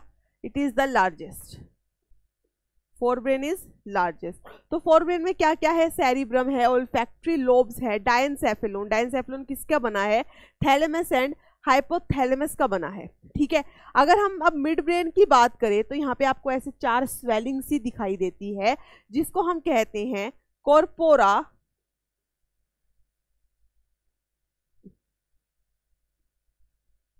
क्वाड्रीजेमिना ठीक है? मिड ब्रेन के अंदर चार स्वेलिंग सी दिखाई देंगी, जिन्हें हम कहते हैं कॉर्पोरा क्वाड्रीजेमिना अगर हम हिंड हाइंड ब्रेन की बात करें तो यहाँ इसके भी तीन पार्ट हैं। कौन से? पोन्स मेड्यूला एंड सैरी बैलम ठीक है बेटा? देखो, यहाँ पे था सैरी ब्रम ये क्या है? बैलम Belum is the part of hindbrain और ब्रम जो है, वो क्या है? फोर ब्रेन का पार्ट है. फोर ब्रेन सबसे बड़ा है. इस फोर ब्रेन जो सबसे बड़ा है, उसमें भी सबसे बड़ा पार्ट होता है सैरिब्रम फोर ब्रेन तो सबसे बड़ा है ही, लेकिन जो फोर ब्रेन का भी सबसे बड़ा पार्ट है, वो कौन सा होता है बेटा? सैरिब्रम होता है. लार्जेस्ट ठीक है? लार्जेस्ट और उसके बाद सेकंड लार्जेस्ट पार्ट जो होता है, वो होता है सैरिबेलम सैरिबेलम क्या होता है? सेकंड लार्जेस्ट होता है। क्लियर इतनी बात? चलो। फोर ब्रेन की बात करें तो इसमें क्या लिखा हुआ है? It forms the greater part of the brain forms the greater part of the brain maximum part जो है ब्रेन का कौन बना कर रखता है? फोर ब्रेन ठीक है? इसमें फ़र्स्ट पार्ट जो है that is cerebrum fore brain का फ़र्स्ट पार्ट इज़ सैरिब्रम ठीक है? सैरिब्रम क्या होता है? It forms the major part it forms the major part of the brain major part of the brain ठीक है? इसको हम दो पार्ट्स के अंदर डिवाइड कर सकते हैं। अब आप, आप सैरिब्रम को देखते हैं बेटा। एक मिनट।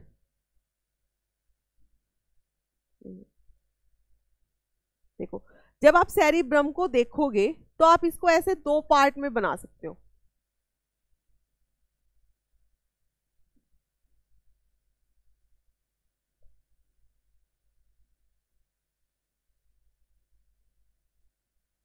ठीक है? तो ये क्या होते हैं? These are the cerebral hemispheres ठीक है? जब आप सैरिब्रम को देखोगे तो वो ऐसे दो पार्ट्स होते हैं, जो दो पार्ट ऐसे जुड़कर मिले हुए हैं। ठीक है? इन दोनों पार्ट्स को कहा जाता है सैरिब्रल हेमिस्फियर्स और ये दोनों जुड़े कैसे हैं? By a nerve tract of nerves मतलब बहुत सारी नर्व्स का एक गुच्छा सा बन गया था, उससे जुड़े हैं। तो इस येलो पार्ट जिससे ये जुड़े हैं, इसको हम कहते हैं कॉर्पस कैलोसम। इसे हम क्या कहते हैं बेटा? कॉर्पस कैलोसम कहते हैं। ठीक है तो यहाँ पर क्या लिखा है? यहाँ लिखा है बेटा cerebrum is the major part of the brain it consist of the two parts ठीक है, जिसे हम क्या कहेंगे? Right and left right and left cerebral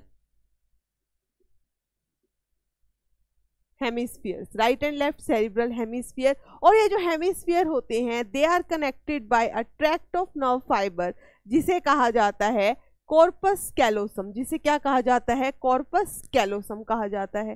ठीक है? फ़ंक्शन क्या है? सेरिब्रम जो आपका मेन थिंकिंग पार्ट होता है ब्रेन का this is the MCQ sorry P Y Q ठीक है? मेन थिंकिंग पार्ट जो आप जितना सोच पा रहे हैं, आपकी मोटर स्किल्स मेन जो भी आपका आपका आईक्यू कितना, आप इंटेलिजेंट कितने हैं, ये सब कहाँ से डिटरमाइन होता है? इस सैरिब्रम से। So it is the seat of intelligence आप कितने इंटेलिजेंस हैं? इंटेलिजेंट है, ठीक है? हम रीड कर रहे हैं, हम राइट कर रहे हैं। Right right. ठीक है, हम बोल रहे हैं, हम कोई कैलकुलेशन कर रहे हैं मैथ सोल्व कर रहे हैं रीजनिंग्स कर रहे हैं डिसीज़न ले रहे हैं। मेन जो थिंकिंग पार्ट है आपका दैट इज़ सैरी ब्रम क्या होता है बेटा? सैरी ब्रम होता है। ठीक है? नेक्स्ट आ जाता है olfactory lobes next part is next part of the forebrain is olfactory lobes olfactory lobe क्या होते हैं? स्मॉल साइज़ के, जब आप इस ब्रेन ऐसे होता है, ऐसे ऊपर है इसको उल्ट, उठा के, उल्टे की तरफ़ से देखते हो ना तो आपको कुछ इस टाइप के स्ट्रक्चर दिखते हैं।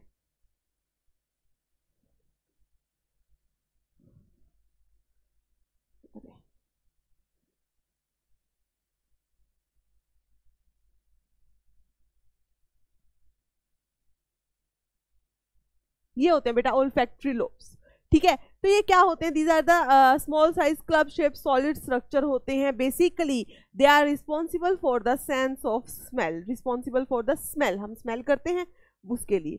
ठीक है? फिर है बेटा डायनसेफेलोन डायनसेफेलोन मैंने आपको पार्ट बताए थे, क्या इंक्लूड करेंगे इसके अंदर? हम थैलेमस और हाइपोथैलेमस इंक्लूड करेंगे।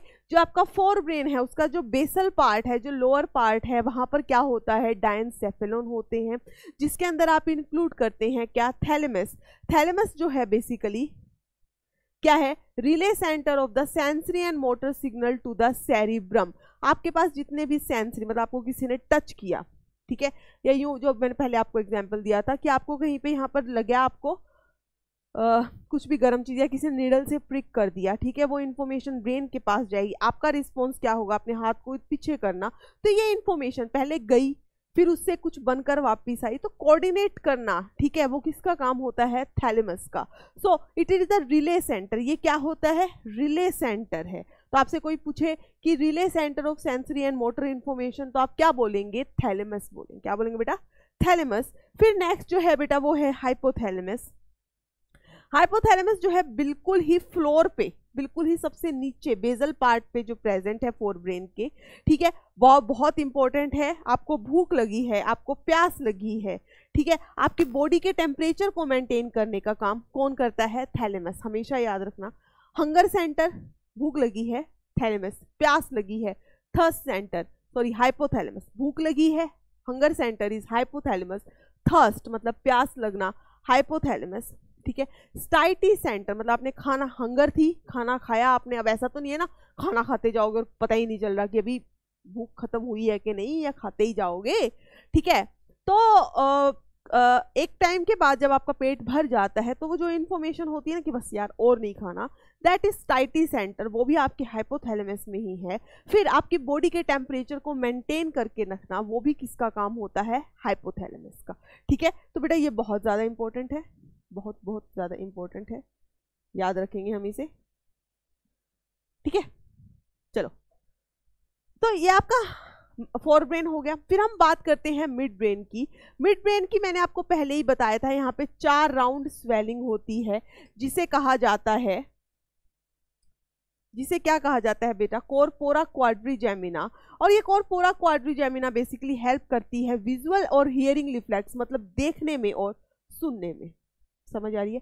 Corpora quadrigemina that is midbrain help in the visual मतलब आपको देखने के अंदर और कुछ सुनना है, उसके अंदर आपको हेल्प करेगा मिड ब्रेन ठीक है? लोकेटेड कहाँ है बेसिकली फोर ब्रेन और हाइंड ब्रेन के बीच में। मिड तो तभी है ना जब दो चीज़ों के बीच में। यहाँ फोर ब्रेन या हाइंड ब्रेन बीच में है मिड ब्रेन तो लोकेटेड बिटवीन थैलेमस हाइपोथैलेमस किसका पार्ट है? फोर ब्रेन का पार्ट थे, ठीक है? Of the forebrain and pons pons किसका पार्ट था? Hindbrain and pons of the hindbrain. समझ आ गई बेटा? क्लियर है? किसके बीच में लोकेटेड है? फोर ब्रेन और हाइंड ब्रेन फोर ब्रेन का कौन सा पार्ट थैलेमस या हाइपोथैलेमस कह लो। और हाइंड ब्रेन का कौन से वाला पार्ट पॉन्स वाला पार्ट ठीक है?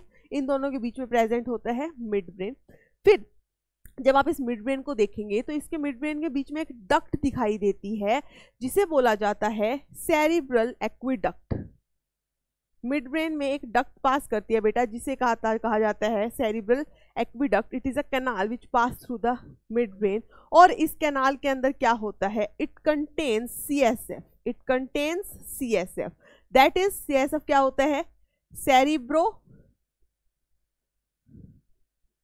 Cerebrospinal fluid C S F क्या होता है बेटा? सेरिब्रोस्पाइनल फ्लूड होता है। अब ये सेरिब्रोस्पाइनल फ्लूड आपको कहाँ मिलता है? बेसिकली ये आपको मिलता है ventricles of the brain ventricles क्या है? कुछ खाली जगह कुछ डक्ट्स हैं ब्रेन के अंदर। वहाँ पर आपको सीएसएफ मिलता है। सो so, सी जो है क्या लिख सकते हैं हम? Found in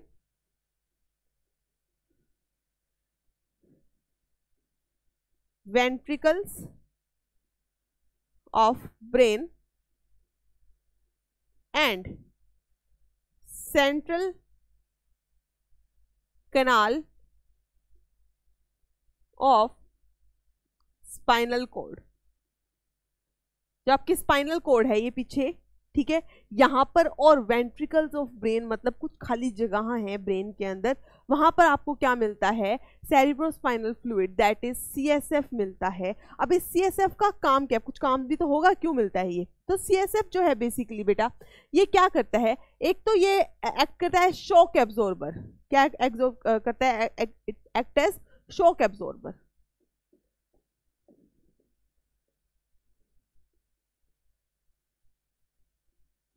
shock absorber की तरह एक्ट करता है। दूसरा क्या है? इट प्रोवाइड्स बायोन्सी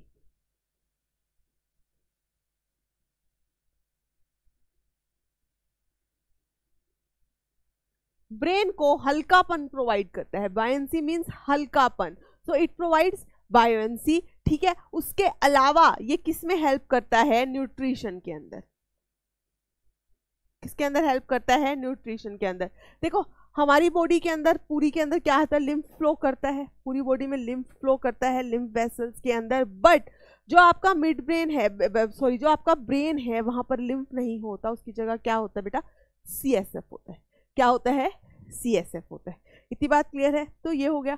फिर आता है आपका हाइंड ब्रेन हाइंड ब्रेन में तीन पार्ट हैं। कौन से कौन से? Pons cerebellum and medulla pons cerebellum medulla ठीक है? जिसमें से आप याद रखेंगे जो सेरिबेलम है it is the second largest part of the brain मैंने पहले ही लिखवाया। काम क्या है इसका? It maintains equilibrium posture and tone of the muscle ठीक है? आपके पोस्चर को मेंटेन करना मसल्स के टोन को, ठीक है? उसके अलावा जो आपकी फास्ट एक्टिविटीज़ होती हैं, उनको रेगुलेट करना। आप साइकिल चला रहे हैं, फटाफट से कर रहे हैं टाइपिंग करना, ये सब जो एक्टिविटीज़ होती हैं, इनको कौन कंट्रोल करता है? सैरी बैलम कंट्रोल करता है। और जो इंसान अल्कोहल पीता है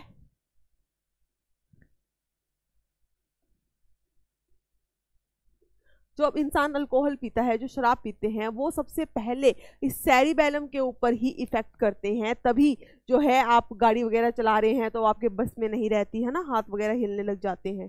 ठीक। फिर है बेटा मेड्यूला ओब्लोंगेटा, जो इसका ही पार्ट है, इसका posterior most part of the brain medulla oblongata क्या है? Posterior most part of the brain है।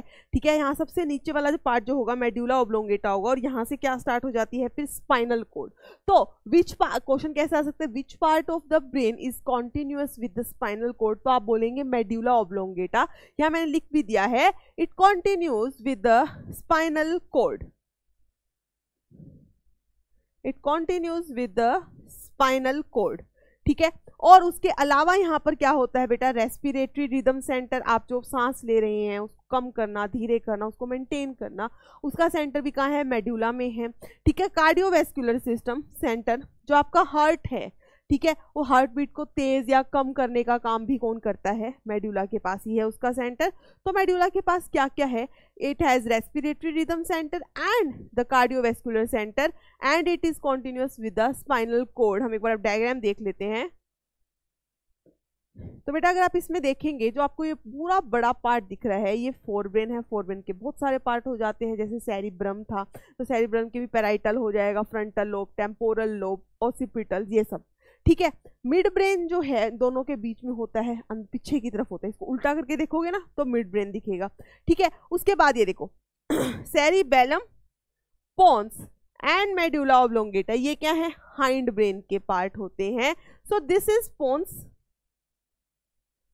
ये वाला जो है बेटा पोन्स है। ये क्या है? सैरी बेलम है। ठीक है? उसके बाद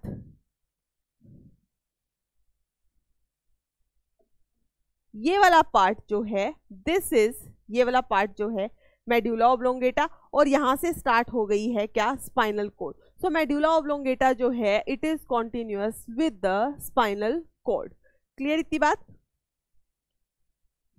चलो। ठीक है? तो स्पाइनल कोड से जब कंटिन्यू हो गया तो हम स्पाइनल कोड भी पढ़ लेते हैं। स्पाइनल कोड बेटा, एक बार ध्यान से सुनो। आपके पीछे क्या होती है? रीढ़ की हड्डी जिसे कहते हैं। दैट इज़ वर्टिब्रल कॉलम रीढ़ की हड्डी होती है। उसे हम क्या कहते हैं? वर्टिब्रल कॉलम ऐसे बोन्स हैं, ठीक है? उस बोन्स के अंदर एक नर्व जा रही है। उसे हम कहते हैं स्पाइनल कोड क्या कहते हैं स्पाइनल कोड जो कहाँ से अराइज हुई थी? Medulla oblongata part of the hindbrain ठीक है ठीक है। तो स्पाइनल कोड क्या है? एक सिलेंड्रिकल सा स्ट्रक्चर है which is about 45 centimetre long जिसकी लेंथ कितनी है? 45 सेंटीमीटर है। इट एक्सटेंड्स फ्रॉम कहाँ से स्टार्ट होती है? It extends from medulla oblongata downwards into the neural canal of the vertebral column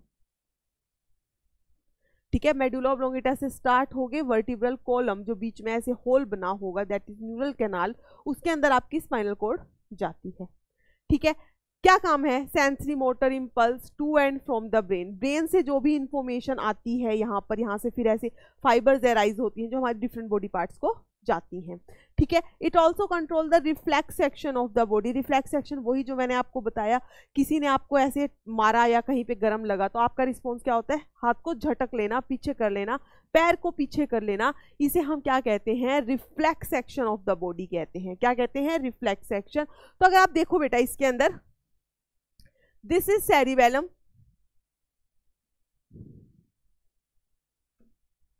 ये था बेटा सेरिबेलम यहाँ पोन्स ये मेड्यूला और ये यहाँ से स्टार्ट हो गई है स्पाइनल कोड ये जो ऑरेंज कलर थी की थी, जिसको मैंने ब्लू कलर का कर दिया है this is the spinal cord कहाँ प्रेजेंट है? वर्टिब्रल कॉलम में मतलब कि ये जो आपको बोन्स दिख रही है इधर से, ये। ये क्या है? सारी वर्टिब्रल कॉलम होती है। क्या होती है वर्टिब्रल कॉलम इनको ऐसे डिवाइड कर लेते हैं। जो नेक के रीजन में होती है, वो होती है सर्वाइकल वर्टिब्रल कॉलम कितनी होती है? सेवन कितनी होती है सर्वाइकल में? नेक वाली जगह कितनी वर्टिब्रा हैं? कितनी वो बोन्स हैं? सेवन है।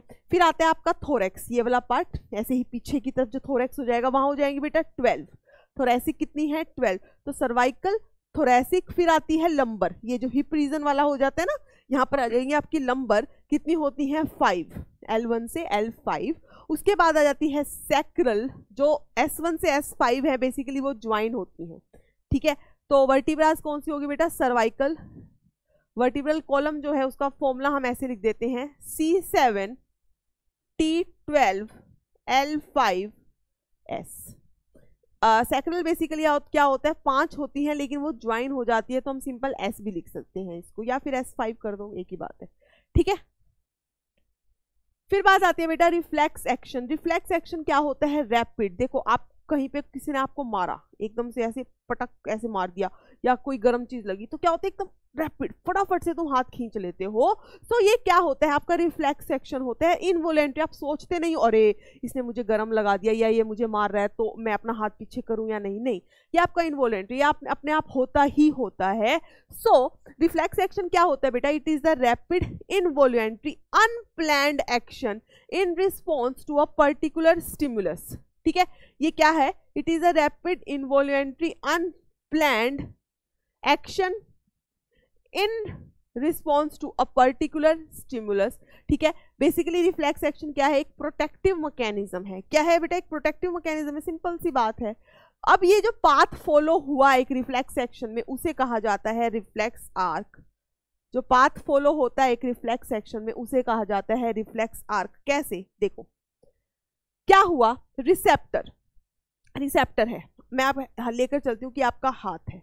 ठीक है? आपके हाथ पे किसी ने फटाक से मारा, ठीक है? या कुछ गर्म चीज़ लगा दी, ठीक है? वो जो गर्म चीज़ लगाई, वो क्या थी? स्टिमुलस। रिसेप्टर क्या है? आपका हाथ है या आपका पैर है? कुछ भी है, ठीक है? अब जैसे ही मारा, वो इन्फॉर्मेशन लेकर जाता है। कौन? सेंसरी न्यूरॉन जो है हमेशा इन्फॉर्मेशन लेकर जाता है बेटा। इस सेंसरी न्यूरॉन को हम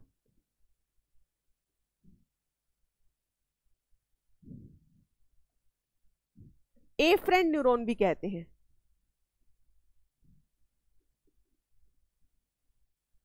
सेंसरी न्यूरॉन को हम ए फ्रेंड ए फ्रेंड मतलब जो इंफॉर्मेशन लेकर जा रही है टूवर्ड्स द स्पाइनल कोड ठीक है? तो ये इंफॉर्मेशन लेकर जाती है। कहाँ गई है स्पाइनल कोड के पास? ये क्या है आपकी स्पाइनल कोड यहाँ से इन्फॉर्मेशन लेके गई। स्पाइनल कोड की खुद की एक नर्व थी जिसे बोल दिया इंटर न्यूरोन ठीक है? अब यहाँ से इन्फॉर्मेशन बैक मिली कि भाई तुम्हें हाँ पैर हटाना है। तो ये पैर हटाने वाली इन्फॉर्मेशन या हाथ हटाने वाली इन्फॉर्मेशन जो है कौन लेकर आता है मोटर न्यूरोन या जिसे हम कहते हैं ईफ्रेंट न्यूरोन? या जिसे कहा जाता है बेटा ईफ्रेंट न्यूरॉन। ठीक है? तो एफ्रेंट या सेंसरी न्यूरॉन जो है इंफॉर्मेशन कहाँ से? रिसेप्टर से। जब तुम्हें पड़ी या लगी, कुछ भी हुआ तो यहाँ से इंफॉर्मेशन लेकर कौन जाएगा? सेंसरी न्यूरॉन या तुम कह सकते हो ए एफ्रेंट न्यूरॉन। कहाँ लेकर गए? स्पाइनल कोड के पास लेकर गए। वहाँ से इंफॉर्मेशन कौन वापस लेके आया? मोटर न्यूरॉन या ईफ्रेंड न्यूरॉन कहाँ लेकर आया? Effector organ. इफेक्टर क्या है? आपका हाथ ही है बेसिकली वहाँ से इसके मसल हटाना है और आपका क्या आ गया? रिस्पॉन्स आ गया। तो ये जो पूरा बना है, इसे हम कहते हैं रिफ्लेक्स आर्क इसे हम क्या कहते हैं बेटा? रिफ्लेक्स आर्क कहते हैं। इसे क्या कहेंगे हम? रिफ्लेक्स आर्क कहते हैं। तो ये पूरा का पूरा जो हम डायग्राम बात कर रहे हैं, इसे हम लिख भी सकते हैं। इसको हम लिख भी सकते हैं। तो चलिए लिखते हैं। तो बेटा, अगर हम इसे लिखते हैं, चलिए। तो सबसे पहले क्या हुआ था? एक सेंसरी इंफॉर्मेशन आई। इसको हम लिखते हैं। पूरी एक आर्क बनाते हैं, जो रिफ्लेक्स आर्क हमने लिखा है। Path followed by an impulse reflex arc क्या है? Path which is followed by an impulse तो सबसे पहले जो इंफॉर्मेशन है, देखो, यहाँ पर क्या था? सबसे पहले एक स्टिमुलस आई। किसके पास आई? रिसेप्टर के पास आई। ठीक है? तो हम इसको यहाँ पे लिख देते हैं। सबसे पहले आई बेटा। स्टिमुलस आई। किसके पास आई? रिसेप्टर। रिसेप्टर से जो है, एक नर्व एराइज हुई, नर्व एराइज हुई, जिसे हम क्या कहते हैं?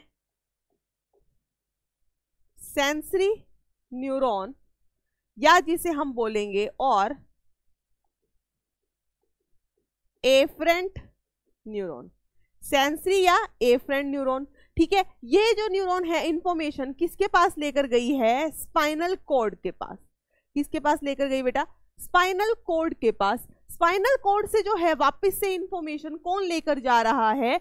मोटर न्यूरॉन कौन लेके जाता है? मोटर न्यूरॉन या जिसे हम कहते हैं ईफरेंट न्यूरॉन समझना है इस बात को। सेंसरी मतलब जो आप सेंस जिससे कुछ आपको पता लगा गर्म ठंडा। ठीक है? उससे आपने रिस्पॉन्स क्या दिया? वो किसका काम है? मोटर का। तो आप कोई कुछ कर रहे हैं। ठीक है, आपने अपना हाथ हटाया तो वो कौन करवा रहा है? मोटर न्यूरॉन करवा रहा है। आपको ठंडा गर्म लगा किसकी वजह से लगा? सेंसरी न्यूरॉन की वजह से लगा। ठीक है तो ये मोटर न्यूरॉन जो है इंफॉर्मेशन किसके पास लेकर गई?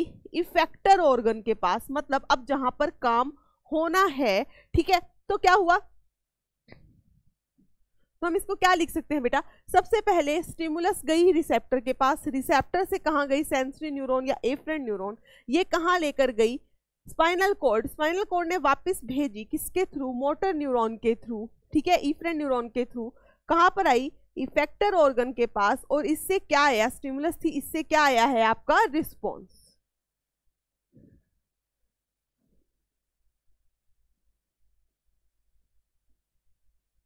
ठीक है? तो ये पूरी क्या है? This is the reflex arc ये क्या है बेटा? ये है आपकी रिफ्लेक्स आर्क। क्या है ये? रिफ्लेक्स आर्क है। इतनी बात क्लियर है? कोई दिक्कत नहीं होनी चाहिए इसके अंदर। और सबसे बड़ी बात, ये मैं बार बार क्यों बता रही हूँ? क्योंकि ये है आपका P Y Q previous year question इस पर आया हुआ है तो आपको पता होना चाहिए। ठीक है? इतनी बात क्लियर है सबको? चलो, ये हम कर चुके हैं। तो ये था बेटा आपका नर्वस सिस्टम जिसमें हमने ब्रेन पढ़ा स्पाइनल कोड पढ़ी रिफ्लेक्स आर्क पढ़ी पार्ट्स ऑफ़ ब्रेन पढ़े, सब कर लिया हमने। जो इम्पोर्टेंट होना चाहिए आपके लिए। फिर हम करते हैं ह्यूमन एंडोक्राइन सिस्टम देखो बेटा एंडोक्राइन सिस्टम का मतलब है जो जहाँ पर क्या प्रेजेंट हो एंडोक्राइन ग्लैंड्स ठीक है? एंडोक्राइन ग्लैंड्स जो होती हैं हमेशा, देखो दो टाइप की ग्लैंड्स हैं। एक होती है एक्सोक्राइन एक होती है एंडोक्राइन एंडोक्राइन ग्लैंड्स जो होती हैं हमेशा रिलीज़ करती हैं हार्मोन एंडोक्राइन का मतलब ही मान लो कि हार्मोन है और ये वो ग्लैंड्स हैं जिनके पास डक्ट्स नहीं होती। मान लो कि ये कोई ग्लैंड है, किसी के पास डक्ट है ये कोई ग्लैंड है, इसके पास डक्ट नहीं है। ये सीधा ब्लड वेसल्स को अपनी सिक्रीशन दे देंगी, ठीक है? तो एंडोक्राइन ग्लैंड क्या होती हैं? इनके पास जो है बेटा डक्ट्स नहीं होती हैं। एंडोक्राइन ग्लैंड्स के पास डक्ट्स नहीं होती हैं, ठीक है? दूसरा मैं यहाँ लिख देती हूँ कि जो एक्सोक्राइन ग्लैंड्स होती हैं दे हैव डक्ट्स उनके पास क्या होती हैं? डक्ट्स होती हैं। ठीक है? So they lacks duct ducts नहीं है तो इनको डक्टलेक्स ग्लैंड कह देंगे। इनके सिक्रीशंस जो है, उसे हम क्या कहते हैं? Hormones hormones are secreted by the endocrine gland अब हॉर्मोन्स क्या होते हैं? न्यूट्रिएंट केमिकल्स होते हैं। न्यूट्रिएंट सॉरी नॉन न्यूट्रिएंट क्या होते हैं? They are the non nutrient chemical मतलब इनसे हमें कोई न्यूट्रिशन नहीं मिल रहा, कोई एनर्जी नहीं मिल रही। तो भाई ये क्यों है फिर? ये क्यों है? तो इनका काम क्या होता है? बेसिकली ये मैसेंजर हैं। जैसे पहले ज़माने में मैसेंजर कौन होते थे? आपको पता है ना, कबूतर लेकर जाते थे खत। ठीक है, वो मैसेंजर थे। हमारी बॉडी के मैसेंजर कौन है? हॉर्मोन्स हैं। हमारे ब्रेन के अंदर। मान लो कि पिचुइट्री ग्लैंड तो ब्रेन के वहीं पर ही है। हाइपोथैलेमस में आपको पोजीशन दिखाऊँगी अभी। वहाँ पर पिचुइट्री ग्लैंड है। ठीक है, उससे इंफॉर्मेशन डिफरेंट डिफरेंट ऑर्गन्स के पास आनी है। किसके थ्रू आएगी? कुछ तो चाहिए, कोई मीडियम चाहिए, वो मीडियम क्या है? हॉर्मोन्स है। ठीक है? तो हॉर्मोन्स क्या आते होते हैं बेटा? They are non nutrient chemicals which act as messenger जो कि कैसे एक्ट करते हैं? They act as intercellular messengers अब इंटरसेल्यूलर क्या है मैम इंटरसेल्यूलर मतलब दो चीज़ों के बीच में। ये एक सेल ये ये एक सेल ये दूसरा सेल इन दोनों सेल्स के बीच में जो भी काम होगा वो इंटरसेल्यूलर इस सेल के अंदर जो भी काम होगा वो इंट्रा मतलब अंदर वाला काम. ठीक है क्लियर है इतनी बात?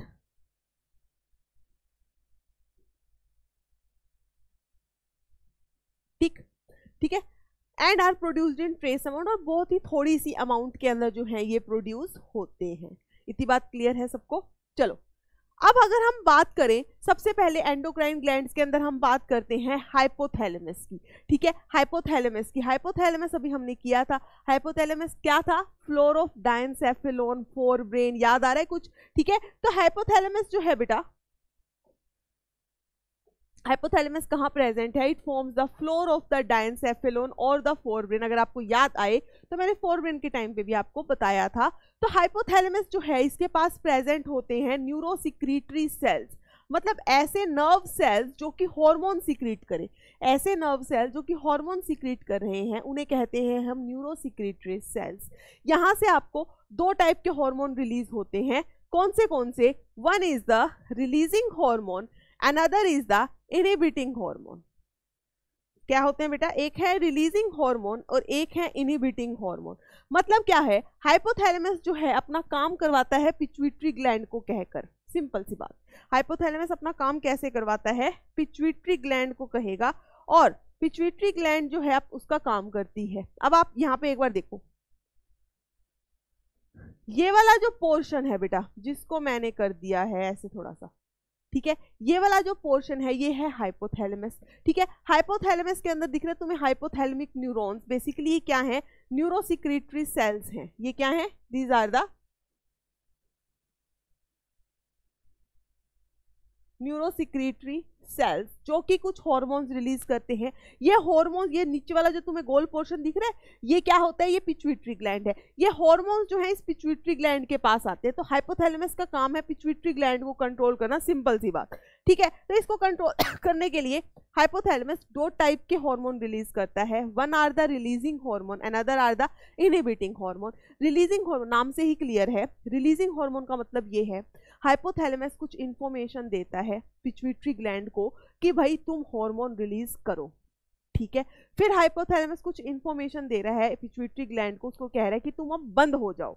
तो एक इन्फॉर्मेशन देता है रिलीजिंग हार्मोन के थ्रू कि तुम काम करो। एक इन्फॉर्मेशन देता है इनिबिटिंग हार्मोन के थ्रू पिचुइट्री ग्लैंड को कि तुम अब काम मत करो। सिंपल ठीक है? तो हम इस रिलीजिंग हार्मोन के अंदर हम क्या लिख सकते हैं बेटा?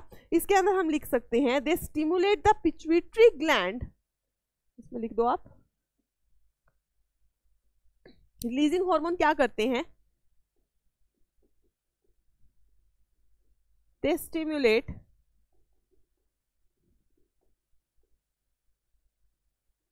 pituitary gland to secrete hormone मतलब कि पिट्विट्री ग्लैंड खुद से कोई काम नहीं कर रही है, उसको इंफॉर्मेशन हाइपोथैलेमस देगा कि अब उसको क्या करना है, ठीक है? अगर हाइपोथैलेमस ये रिलीजिंग हार्मोन रिलीज़ करता है तो पिचुइट्री ग्लैंड हार्मोन को रिलीज़ करना शुरू कर देती है, ठीक है? So it stimulate the pituitary gland to secrete hormone इसके अंदर हम आप एग्ज़ाम्पल लिख सकते हो बेटा, इसके अंदर एग्ज़ाम्पल लिख सकते हो, कैसे कैसे हार्मोन रिलीज़ होते हैं?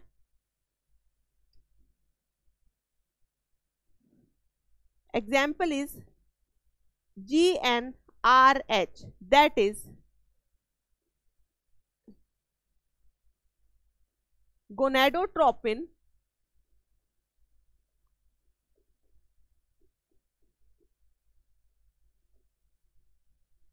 releasing hormone ठीक है ये एक टाइप का हार्मोन है जो हाइपोथैलेमस रिलीज़ करता है किसको देता है पिचुइट्री ग्लैंड को और पिचुइट्री ग्लैंड को बोलेगा कि क्या दिया उसने? जीएनआरएच तो gonadotropin releasing hormone gonads gonad से कौन से हार्मोन रिलीज़ होते हैं? ल्यूटिनाइजिंग हार्मोन गोनेड्स के लिए बेसिकली कौन से होते हैं? एलएच होता है एफएसएच होता है। तो ये पिचुइट्री ग्लैंड क्या करता है? हाइपोथैलेमस की बात मानकर एलएच और एफएसएच रिलीज़ करना शुरू कर देता है। ठीक है? अब बात आती है इनिबिटिंग हार्मोन की। इनिबिटिंग हार्मोन में बेसिकली क्या लिख सकते हैं हम? It inhibit the secretion of pituitary gland inhibiting hormone क्या करते हैं बेटा? They inhibit the secretion of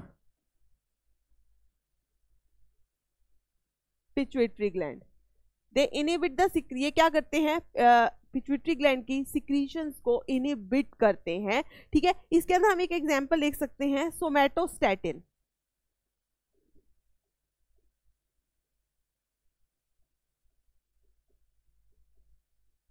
somatostatin अब ये सोमेटोस्टेटिन जो है, किसने रिलीज़ किया? हाइपोथैलेमस ने। ये अब जाएगा किसके पास बेटा? ये गया पिचविट्री ग्लैंड के पास। किसके पास गया? पिचविट्री ग्लैंड के पास। पिचविट्री ग्लैंड क्या करती है? Inhibit the release of growth hormone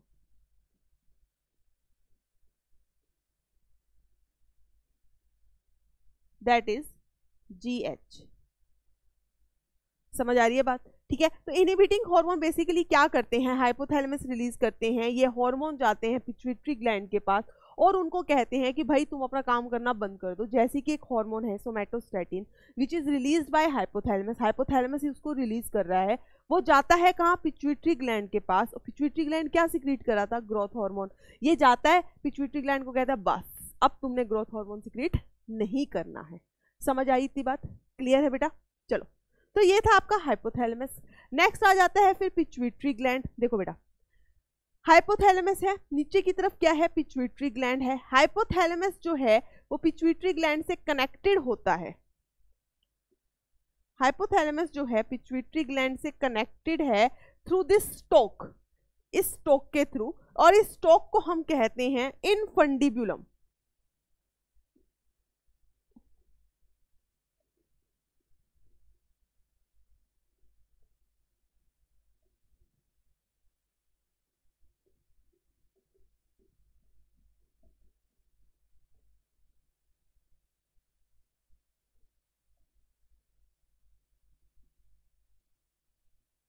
ठीक है? तो हाइपोथैलेमस ऊपर वाला हाइपोथैलेमस नीचे क्या है? Pituitary hypothalamus is connected to the pituitary by a stalk जिसको हम कहते हैं इनफंडिबुलम और नीचे ये पूरा स्ट्रक्चर क्या है? दिस इज़ पिचविट्री ग्लैंड इसको क्या कहते हैं? पिचविट्री ग्लैंड अगर आप पिचविट्री ग्लैंड को देखेंगे तो पिचविट्री ग्लैंड के बेटा दो पार्ट्स होते हैं।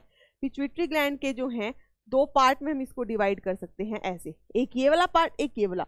ये वाला पार्ट इज़ एंटीरियर पिचुइट्री पीछे वाला इज़ पोस्टीरियर पिचुइट्री ठीक है? तो ऊपर क्या है? हाइपोथैलेमस नीचे क्या है? पिचुइट्री ग्लैंड है। बीच में दोनों को ज्वाइन करने के लिए एक स्टॉक लाइक स्ट्रक्चर है, जिसे कहते हैं इन ब्यूलम ठीक है? ये पोर्टल सर्कुलेशन आपको करने की ज़रूरत नहीं है। ठीक है? तो पिचुइट्री ग्लैंड अगर हम इसके लोकेशन की बात करें कि ये कहाँ प्रेजेंट है so it is present in a bony cavity जिसे कहते हैं सेला टर्सिका ठीक है? तो पिचविट्री ग्लैंड एक बोन की कैविटी में प्रेजेंट होती है, जैसे हाइपोथैलेमस से नीचे एक बोन है उसमें वहाँ प्रेजेंट है। पिचविट्री ग्लैंड जिसे कहा जाता है सेला टर्सिका क्या कहा जाएगा बेटा? Sella turcica it is attach to the hypothalamus by a stalk यहाँ पे लिखा हुआ है attach to a hypothalamus by a stalk called as infundibulum called as infundibulum ठीक है? ये क्या होती है? Pituitary gland is the master endocrine gland अगर आपसे क्वेश्चन पूछ ले which is the master endocrine gland तो आप क्या बोलेंगे? पिचुइट्री ग्लैंड बोलेंगे। ठीक है? दो पार्ट में हम इसको डिवाइड कर सकते हैं। कौन सा बेटा? एक तो होता है अडीनो हाइपोफाइसिस ठीक है? One is the neuro hypophysis adeno hypophysis या हम दूसरा क्या है? Neuro hypophysis adeno hypophysis basically हम क्या कह सकते हैं इसको? Anterior pituitary. Adenohypophysis is anterior pituitary. Neurohypophysis is posterior pituitary. ठीक है? पोस्टीरियर पिचुइट्री जो न्यूरोहाइपोफाइसिस है, ये एक समझो इस बात को कि ये क्या करती है? ये दो हॉर्मोन्स को स्टोर करके रखती है। मैंने क्या कहा? सिर्फ़ स्टोर करती है उनको रिलीज़ कर देती है, बनाती नहीं है। वो बनते कहाँ से हैं? हाइपोथैलेमस से। देखो। दिख रहे हैं? ये जो हाइपोथैलेमस का ये वाला जो नर्व थी। ये सीधी इसका कनेक्शन कहाँ आ रहा है? इस पोस्टीरियर पिचुएट्री में आ रहा है। सीधा कहाँ आ रहा है बेटा? पोस्टीरियर पिचुएट्री में। दिख रहा है आपको? देखो। ये वाला जो है नर्व इसका सीधा कनेक्शन कहाँ पर है? इस पोस्टीरियर पिचुएट्री के अंदर है। मतलब हाइपोथैलेमस ने जो हार्मोन रिलीज़ किए वो डायरेक्ट पोस्टीरियर पिचुइट्री में आ रहे हैं तो यहाँ पोस्टीरियर पिचुइट्री खुद से हार्मोन नहीं बना रही है। ये सिर्फ़ जो हाइपोथैलेमस ने हार्मोन बनाए, उनको क्या करती है? स्टोर कर लेती है और जब ज़रूरत होती है तो इनको रिलीज़ कर देती है। तो यहाँ पर सिर्फ़ दो ही हार्मोन आपको याद रखने हैं। कौन से? Oxytocin and vasopressin oxytocin and vasopressin ये वेजोप्रेसिन क्या है? It is another name for the ADH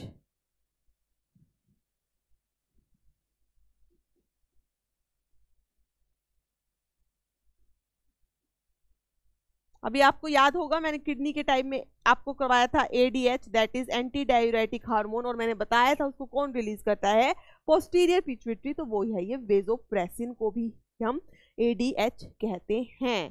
ठीक है, एक चीज़ और बता देती हूँ मैं आपको यहाँ पर।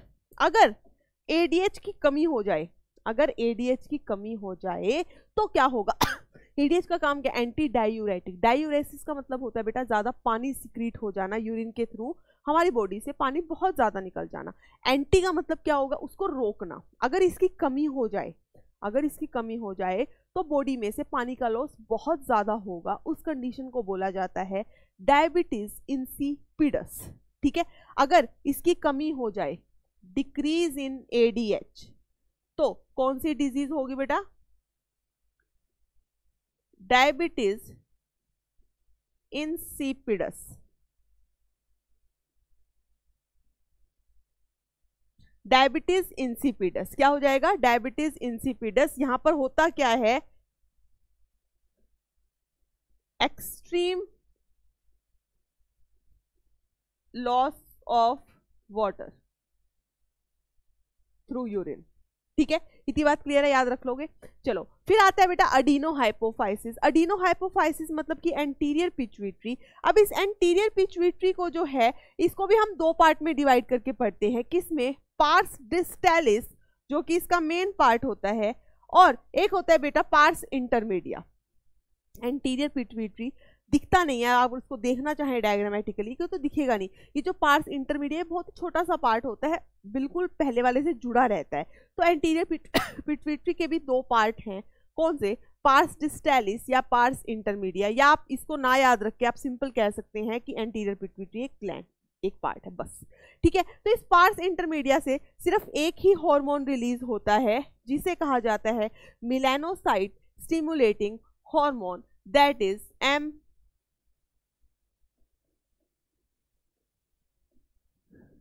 that is M S H melanocyte stimulating hormone ठीक है? और पार्स डिस्टेलिस जो कि मेन पार्ट है, उससे सारे हार्मोन रिलीज़ होते हैं लाइक ग्रोथ हार्मोन जिसको आप कहेंगे जी एच ठीक है? Prolactin L thyroid stimulating hormone that is T S H A C T H that is adrenocorticotropic hormone क्या बोलेंगे बेटा? इसको लिख देते हैं यहाँ पर हम।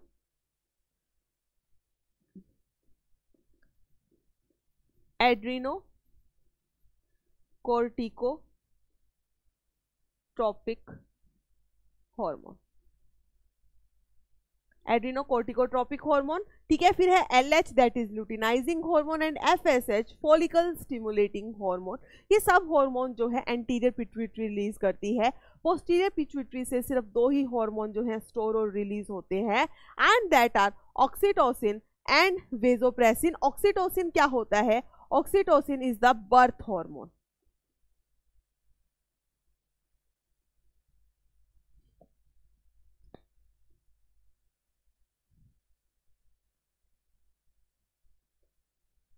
oxytocin के बारे में आप लिख सकते हैं बेटा। This is the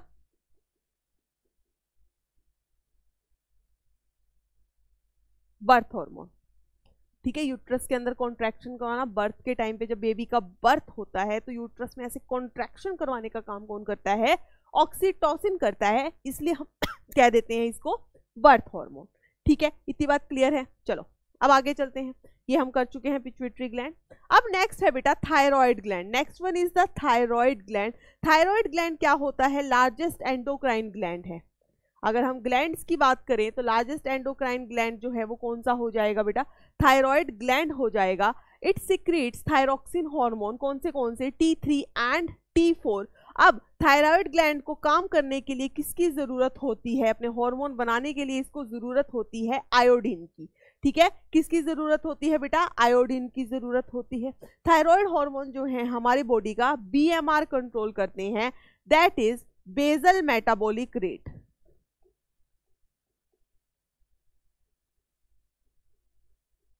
आपने सुना होगा, जो लोग थोड़े हेल्दी होते हैं ओबीज होते हैं, उनका बीएमआर कम होता है और जो लोग ज़्यादा ही पतले होते हैं, चाहे कितना भी खाते रहें, पतले ही रहते हैं, उनका बीएमआर हाई होता है। मतलब उनके अंदर जो मेटाबॉलिज्म है, वो फास्ट होता है, ठीक है? तो ये बीएमआर को कंट्रोल करने का काम कौन करता है? Thyroid gland it regulate also regulate carbohydrate protein and fat के मेटाबॉलिज्म को भी रेगुलेट करता है ये।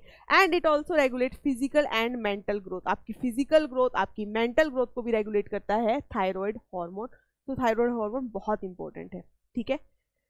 अब मैंने आपको बताया आयोडीन की बहुत ज़रूरत है थायराइड हार्मोन को अपने थायराइड ग्लैंड को अपने हार्मोन्स बनाने के लिए। तो सबसे पहले जो डिज़ीज़ की बात कर रहे हैं हम दैट इज़ ग्वाइटर सबसे पहले क्या है बेटा? ग्वाइटर अब ग्वाइटर क्यों होती है? Due to the deficiency of goitre क्यों हो रही है बेटा? Due to deficiency of iodine in diet iodine की डेफिशिएंसी अगर डाइट में हो जाए तो क्या होता है? ग्वाइटर हो जाता है and it result in hypothyroidism मतलब कि थायराइड ग्लैंड जो है वो काम नहीं कर पा रहा है, वो हार्मोन नहीं रिलीज़ कर पा रहा है तो उसे हम कहेंगे हाइपोथायरॉयडिज्म हाइपोथायरॉयडिज्म हो जाएगा और इसमें जो थायराइड ग्लैंड होता है, उसका साइज़ बहुत बड़ा हो जाता है. यहाँ पे नेक पे जो है अलग से स्वेलिंग दिखने लग जाती है. ग्वाइटर को आई थिंक हिंदी में घेंगा भी कहते हैं। मेनली ये हिमालयन रीजन में होता है क्योंकि वहाँ पर पानी के अंदर जो है आयोडीन नहीं होती और अगर अपनी डाइट में भी आयोडीन ना लें तो क्या होगा? ग्वाइटर हो जाएगा। ठीक है? नेक्स्ट डिज़ीज़ है बेटा इसके अंदर क्रेटिनिज्म नेक्स्ट डिज़ीज़ है क्रेटिनिज्म अगर प्रेगनेंसी के टाइम पे वुमेन को हो जाता है हाइपोथायरॉयडिज्म। क्या हो जाता है? हाइपोथायरॉयडिज्म।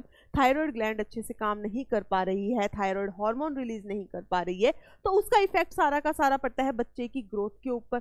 उसका आईक्यू लेवल कम हो जाता है, वो बच्चा हो सकता है बोल ना सके, सुन ना सके, डेफ म्यूट हो जाए, ठीक है? उसका शॉर्ट स्ट्रेचर, उसकी हाइट कम रह जाती है। So, cretinism is basically hypothyroidism during pregnancy.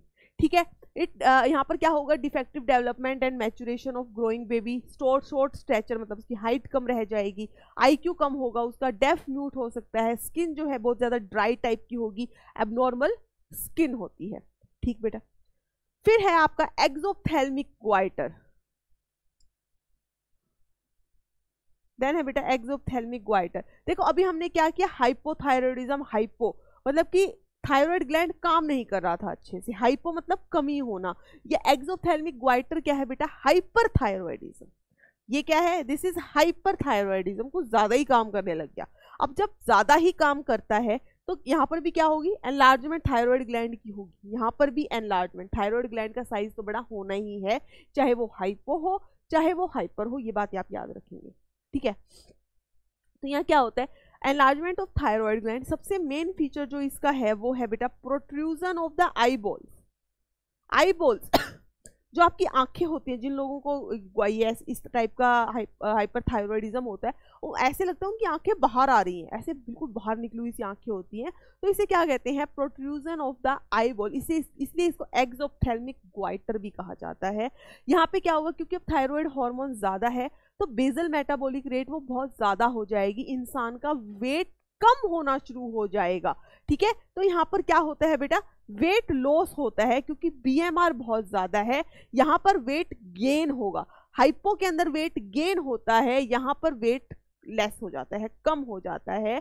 इसे हम, इसे जो है हम ग्रेव्स डिज़ीज़ भी कहते हैं वेरी इंपॉर्टेंट ठीक है? हाइपर याद रखना बेटा, वो दोनों ऊपर वाली क्या है? हाइपो है, ये क्या है? हाइपर है। हाइपर थायरॉयडिज्म को हम एक्सोथेल्मिक ग्वाइटर भी कहते हैं और ग्रेव्स डिज़ीज़ भी कहते हैं। क्लियर है इतनी बात? चलो। नेक्स्ट एक और हार्मोन भी रिलीज़ करता है थायराइड ग्लैंड जिसे हम कहते हैं टीसीटी या थायरोकैल्सीटोनिन क्या कहते हैं बेटा? Thyrocalcitonin it is also secrete by the thyroid gland और इसका काम क्या है? It regulate the blood calcium level thyrocalcitonin क्या करता है बेटा? It regulates the blood calcium level basically blood के अंदर अगर कैल्शियम का लेवल ज़्यादा हो जाता है तो ये उसको कम करता है। क्या करता है? कम करता है। फिर एक ग्लैंड है बेटा parathyroid gland another gland is the parathyroid gland जो थायरॉयड ग्लैंड होता है, उसके पीछे के पोर्शन पे चार छोटी छोटी ग्लैंड लगी होती है, या यूँ कह लो पेयर में लगी होती है, उसे हम कहते हैं parathyroid gland present on the back side of the, present on the back side of the thyroid gland, ठीक है? ये जो हार्मोन सिक्रीट करती है, उसका नाम होता है पैराथायरॉयड हार्मोन या फिर पैराथ हार्मोन या जिसे हम बोल देते हैं पीटीएच क्या बोल देते हैं? पीटीएच पैराथायरॉयड हार्मोन या पैराथ हार्मोन ठीक है? अब इसका फ़ंक्शन क्या होता है? It increase the blood calcium level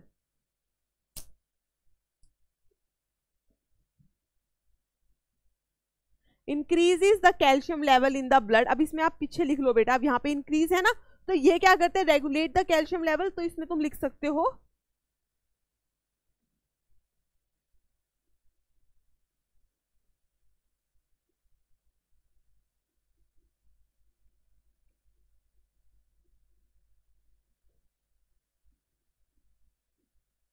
it decreases the blood calcium level ये क्या करता है? कम करता है। ये क्या करता है? ज़्यादा करता है। तो तुम क्या कह सकते हो? Calcitonin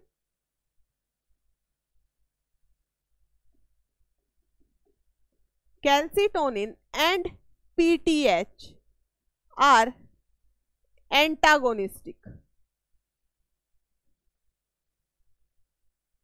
calcitonin hormone मतलब कि थायरोकैल्सीटोनिन कह लो या जस्ट कैल्सीटोनिन भी कह देते हैं इसको।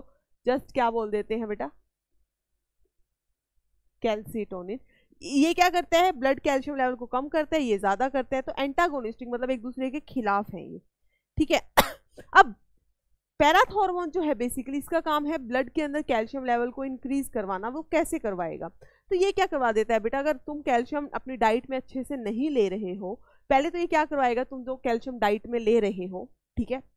उसे एब्जॉर्ब करवा लेगा इंटेस्टाइन से।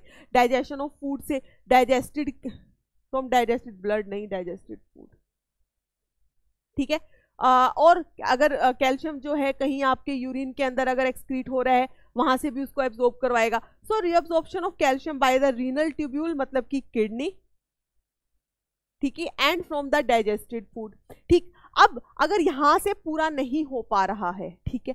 तो ये क्या करेगा? It acts on the bone फिर ये बोन पर एक्ट करना स्टार्ट कर देगा। And it stimulate bone resorption bone resorption मतलब dissolution and demineralization of the bone bone के अंदर से कैल्शियम को निकालना शुरू कर देगा ताकि ब्लड के अंदर जो कैल्शियम का लेवल है वो मेंटेन रह सके। तो इस तरीके से जो पैराथायरॉयड हार्मोन या पैराथ हार्मोन है, जो ब्लड के अंदर कैल्शियम लेवल को इंक्रीज करता है। ठीक है? नेक्स्ट है बेटा आपका पेनक्रियास पेनक्रियास क्या है? कॉम्पोजिट ग्लैंड कॉम्पोजिट ग्लैंड मतलब it is a mixed gland composite gland का मतलब क्या है? मिक्स ग्लैंड यहाँ पर एक्सोक्राइन पार्ट भी है और एंडोक्राइन एक्सोक्राइन पार्ट मैंने इसका आपको बता दिया था जहाँ हमने बात की थी डाइजेशन ऑफ़ फ़ूड में पेनक्रियाटिक जूस की. यहाँ हम बात करेंगे ओनली एंडोक्राइन ग्लैंड की, जो किससे बना है? आईलेट ऑफ़ लैंगरहेंस बेसिकली क्या है? पेनक्रियाज के अंदर बीच का जो पोर्शन है, वहाँ पर बहुत सारे सेल्स होते हैं। उन सेल्स को कहा जाता है आईलेट ऑफ़ लैंगरहैन यहाँ पर कौन से कौन से सेल हैं बेटा? अल्फ़ा सेल्स हैं बीटा सेल्स हैं, और साथ में आप ये याद रखेंगे कौन से? Delta cells alpha beta and the delta cells clear है इतनी बात? ठीक है? तो alpha cell beta cell and delta cell. अब जो अल्फ़ा सेल है, ये तीनों सेल जो है कुछ कुछ हार्मोन रिलीज़ कर रहे हैं, ठीक है? जिसमें से जो आपका डेल्टा सेल है वो रिलीज़ करता है क्या? सोमेटोस्टेटिन। क्या रिलीज़ करता है बेटा? सोमेटोस्टेटिन। अल्फ़ा सेल जो है वो क्या रिलीज़ करते हैं? ग्लूकागन। ठीक है? और बीटा सेल्स क्या रिलीज़ करते हैं? इंसुलिन। ठीक है? ये हॉर्मोन्स हैं जो कि रिलीज़ होते हैं बाय दीज सेल्स तो आप इसमें देखेंगे कि जो अल्फ़ा सेल्स हैं, वो क्या रिलीज़ करते हैं बेटा? ग्लूकागन रिलीज़ करते हैं, ठीक है? बीटा सेल्स जो हैं, वो क्या रिलीज़ करते हैं? इंसुलिन बीटा सेल्स क्या रिलीज़ कर रहे हैं बेटा? इंसुलिन ठीक है? और जो आपके डेल्टा सेल्स हैं, वो क्या रिलीज़ करते हैं? सोमेटोस्टेटिन अब इसके अंदर अगर हम देखें जो आ, पहले आप इंसुलिन की बात करेंगे। इंसुलिन जो है बेसिकली क्या करता है ये ब्लड के अंदर जो ग्लूकोज लेवल है उसको कम करता है। ठीक है? कुछ पॉइंट्स आपने इसमें याद रखने हैं हमेशा। इंसुलिन जो है it decreases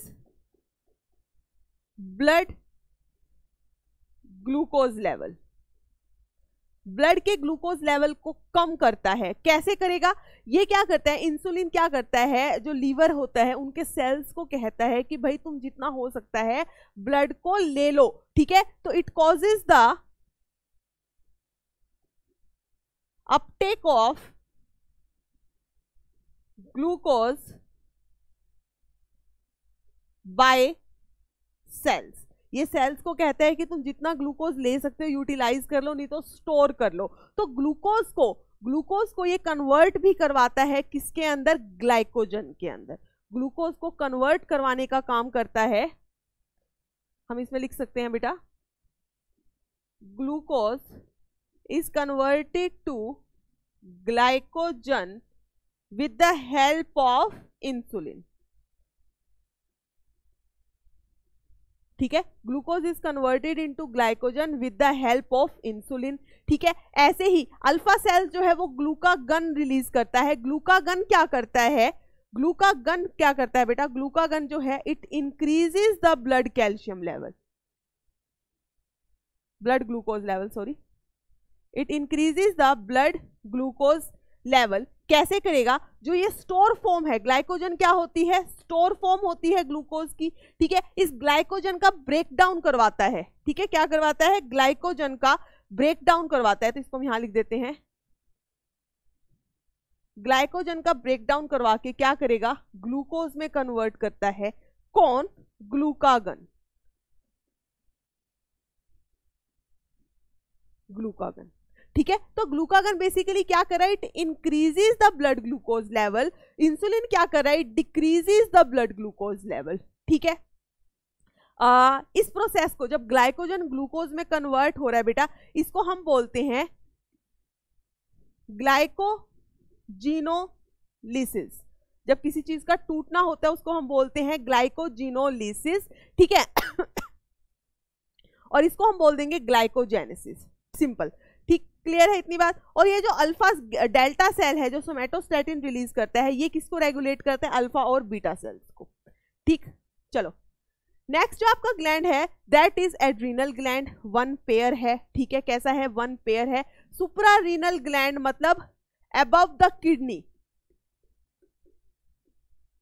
कहाँ प्रेजेंट है बेटा? ये किडनी के ऊपर प्रेजेंट है। तो इसको हम कहते हैं सुपरा रीनल ग्लैंड भी कह देते हैं, ठीक है? अगर हम एड्रीनल ग्लैंड को देखें तो इसके दो पार्ट होते हैं। बाहर वाले पार्ट को एक होता है बाहर वाला, एक होता है अंदर वाला। तो बाहर वाला पार्ट जो है, उसको हम कहते हैं एड्रीनल कॉर्टेक्स ठीक है? जो बाहर वाला पार्ट है बेटा, उसको कहा जाता है एड्रीनल कॉर्टेक्स वहाँ से जो हॉर्मोन रिलीज़ होते हैं, उन्हें हम कहते हैं, वहाँ से जो हॉर्मोन रिलीज़ होंगे, उन्हें हम कहते हैं एड्रीनलिन या फिर एपिनेफ्रिन या नॉन एड्रेनलिन और नॉन एपिनेफ्रिन इन हॉर्मोन्स को कहा जाता है एमरजेंसी हॉर्मोन्स ठीक है? इमरजेंसी हॉर्मोन्स का मतलब क्या हुआ? जब भी आपको कोई शौक लगता है आप डर जाते हैं तो आपकी बॉडी में कुछ चेंजेस होते हैं। उन चेंजेस की के लिए कौन रिस्पॉन्सिबल है? ये हॉर्मोन एड्रेनलिन एपिनेफ्रिन या फिर नॉन एपिनेफ्रिन हार्मोन मान लो कि आप डर गए आपके सामने एकदम से शेर आ गया तो आपका क्या होगा? क्या होगा? गला सूख जाएगा। तो जो आ, स्लाइवरी ग्लैंड की सिक्रीशन है, वो क्या हो जाएगी बेटा? कम हो जाएगी, पसीने आने शुरू हो जाएँगे स्वेटिंग ज़्यादा हो जाएगी, ठीक है? तो क्या होगा? एक तो आप अलर्टनेस हो जाएगी, आप एकदम से चौंक जाएँगे, एकदम अलर्ट हो जाएँगे कुछ हुआ है। साथ में क्या होता है, आँखें ऐसे फटी की फटी रह जाती है, जिसे हम कहते हैं प्यूपिलरी डायलेशन रोंगटे खड़े हो जाना, जिसे हम कहते हैं pilo erection raising of the hair pilo erection ठीक है? स्वेटिंग ज़्यादा होगी। ठीक हार्ट बीट तेज हो जाएगी रेट ऑफ़ रेस्पिरेशन सांस जो आप लेते हो, फटाफट से लोगे वो इंक्रीज हो जाएगी। ग्लाइकोजन का ब्रेक डाउन होगा। ग्लाइकोजन का जब ब्रेकडाउन होता ब्लड के अंदर ग्लूकोज का लेवल इंक्रीज हो जाएगा। Increase in blood glucose level ठीक है? उसके अलावा क्या है बेटा? उसके अलावा अगर ये एड्रीनल कॉर्टेक्स हो गया। एड्रीनल मेड्यूला जो है वो क्या रिलीज़ करता है? इट रिलीजेज एड्रीनल मेड्यूला जो है it releases it secrete corticoids क्या सिक्रीट करता है? कोर्टिक्वाइड्स कोर्टिक्वाइड अब दो टाइप के होते हैं। One is glucocorticoid and another is mineralocorticoid ठीक है? एड्रीनल मेड्यूला जो है, कौन से हार्मोन रिलीज़ करता है? कोर्टिकॉइड्स जिसे हम क्या कहते हैं? Glucocorticoid and the mineralocorticoid mineralocorticoid क्या होता है? It regulate the water and electrolyte balance it regulate water and electrolyte balance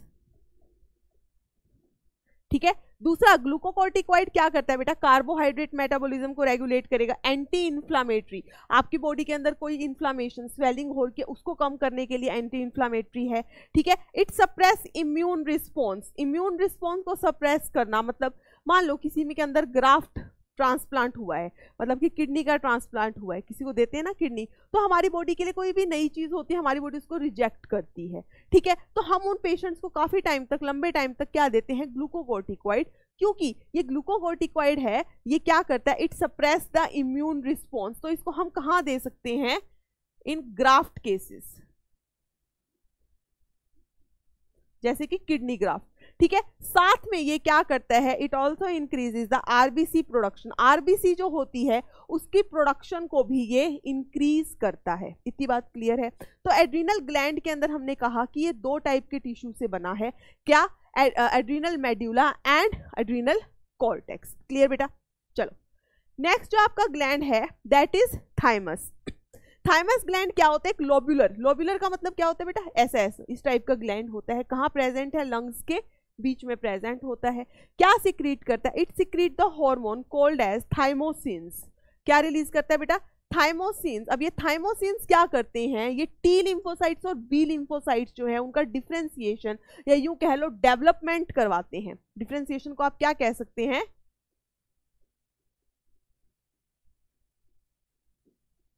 development of T lymphocytes और हमेशा हम याद रखेंगे टी लिम्फोसाइट्स जो है वो किसके लिए होता है? For the cell mediated immunity ठीक है? तो टी लिम्फोसाइट जो है they provide cell mediated immunity means thymosin से हमें क्या मिलती है? थाइमोसिन हमें हेल्प करते हैं इम्यूनिटी के अंदर. ठीक? साथ में ये क्या करते हैं? एंटीबॉडी की प्रोडक्शन को भी इंक्रीज करवाते हैं. एंटीबॉडी हमें क्या हेल्प करती है? कोई भी इन्फेक्शन से लड़ने के लिए आपको एंटीबॉडी चाहिए. जब एंटीबॉडी आपको इन्फेक्शन से फाइट करने की हेल्प करती है तो उस टाइप की इम्यूनिटी को हम कहते हैं ह्यूमोरल इम्यूनिटी क्या कहेंगे? ह्यूमोरल इम्यूनिटी तो आपके थाइमोसिन जो हैं, वो टी लिम्फोसाइट्स के लिए भी इम्पोर्टेंट है ह्यूमोरल इम्यूनिटी के लिए इम्पोर्टेंट है। ठीक? बट थाइमस जो है थाइमस ग्लैंड जो है जैसे जैसे एज बढ़ती है वैसे वैसे इसका साइज़ काफ़ी कम हो जाता है। इसलिए जो ओल्ड एज वाले पीपल होते हैं, जो थोड़े बूढ़े हो जाते हैं लोग, उनकी इम्यूनिटी कम हो जाती है, जब बच्चा है उसकी इम्यूनिटी बहुत ज़्यादा होती है, बड़े जब आप होने लग जाते हो धीरे धीरे आपकी इम्यूनिटी कम होती है। One of the reason is the thymus gland क्योंकि थाइमस ग्लैंड जो है टाइम के साथ उसका साइज़ छोटा हो रहा है। जब छोटा हो रहा है तो थाइमोसिन सिक्रीट नहीं कर पा रही है, ठीक है? So thymus is degenerated in old individuals clear बेटा? देन आपका नेक्स्ट ग्लैंड है pineal gland next one is the pineal gland pineal gland जो हार्मोन सिक्रीट करती है, उसका नाम होता है मेलाटोनिन पीनियल ग्लैंड जो हार्मोन सिक्रीट कर रही है, उसका नाम है बेटा मेलाटोनिन मेलाटोनिन का काम क्या होता है? It regulate the 24 four hour cycle diurnal cycle या कह लो स्लीप वेक साइकिल मतलब देखो सिंपल सी बात है, जब सुबह होती है तो हमें हमारी नींद खुल जाती है जैसे जैसे शाम होती है, रात की तरफ़ बढ़ते हैं, हमें नींद आती है तो उसका कुछ तो रीज़न है। उसका रीज़न होता है मेलाटोनिन जैसे जैसे सनलाइट से मतलब रात होना स्टार्ट होती है इवनिंग स्टार्ट होती है मेलाटोनिन का सिक्रीशन इंक्रीज होता है और मेलाटोनिन क्या करता है? स्लीप इंड्यूस करवाता है, आपको कहता है कि सो जाओ, ठीक है? फिर जैसे जैसे सुबह होती है, इसकी अमाउंट जो है वो कम होती है तो आप अलर्ट हो जाते हो। तो मेलाटोनिन बेसिकली क्या है?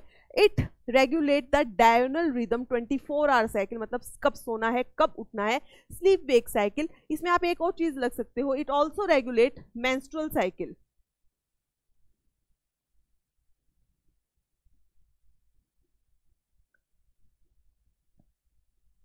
it also regulates menstrual cycle ठीक है बेटा? तो हमने क्या क्या किया है? यहाँ पर हमने एक तो किया थाइमस ग्लैंड दूसरा हमने किया है पीनियल ग्लैंड ठीक है? तो बेटा हमने यहाँ पर किया थाइमस ग्लैंड जो सीक्रेट कर रहा है। थाइमोसिन और पीनियल ग्लैंड जो कि हार्मोन कौन सा सीक्रेट कर रहा है? मेलाटोनिन ठीक है? तो आपका पूरा हमने आज किया है एक्सक्रीटरी सिस्टम ठीक? फिर हमने किया है नर्वस सिस्टम देन हमने किया है एंडोक्राइन सिस्टम ठीक? अब इससे रिलेटेड कुछ क्वेश्चंस हम देख लेते हैं जो आपके पी हैं बेसिकली बेटा। सबसे पहले 2015 के अंदर आया था ये question which one of the following is not the part of the nerve इनमें से कौन सा जो है नर्व का पार्ट नहीं है। Not a part of nerve देखो बेटा एक्सोन मैंने आपको बताया था, हमने किया डेंड्राइट सेल देन एक्सोन तो एक्जोन तो है, ठीक है? कनेक्टिव टिश्यूज होते ही होते हैं, ठीक? श्वान सेल्स जो कि क्या बनाते हैं? माइलिन शीत वो भी था। तो उसमें क्या नहीं था? स्मूथ मसल्स जो हैं, वो एक नर्व का पार्ट नहीं होती। नर्व्स में मसल्स की बात हम नहीं करते हैं। तो आंसर हो जाएगा हमारा ऑप्शन नंबर डी ठीक है? ऐसे नेक्स्ट क्वेश्चन देखते हैं।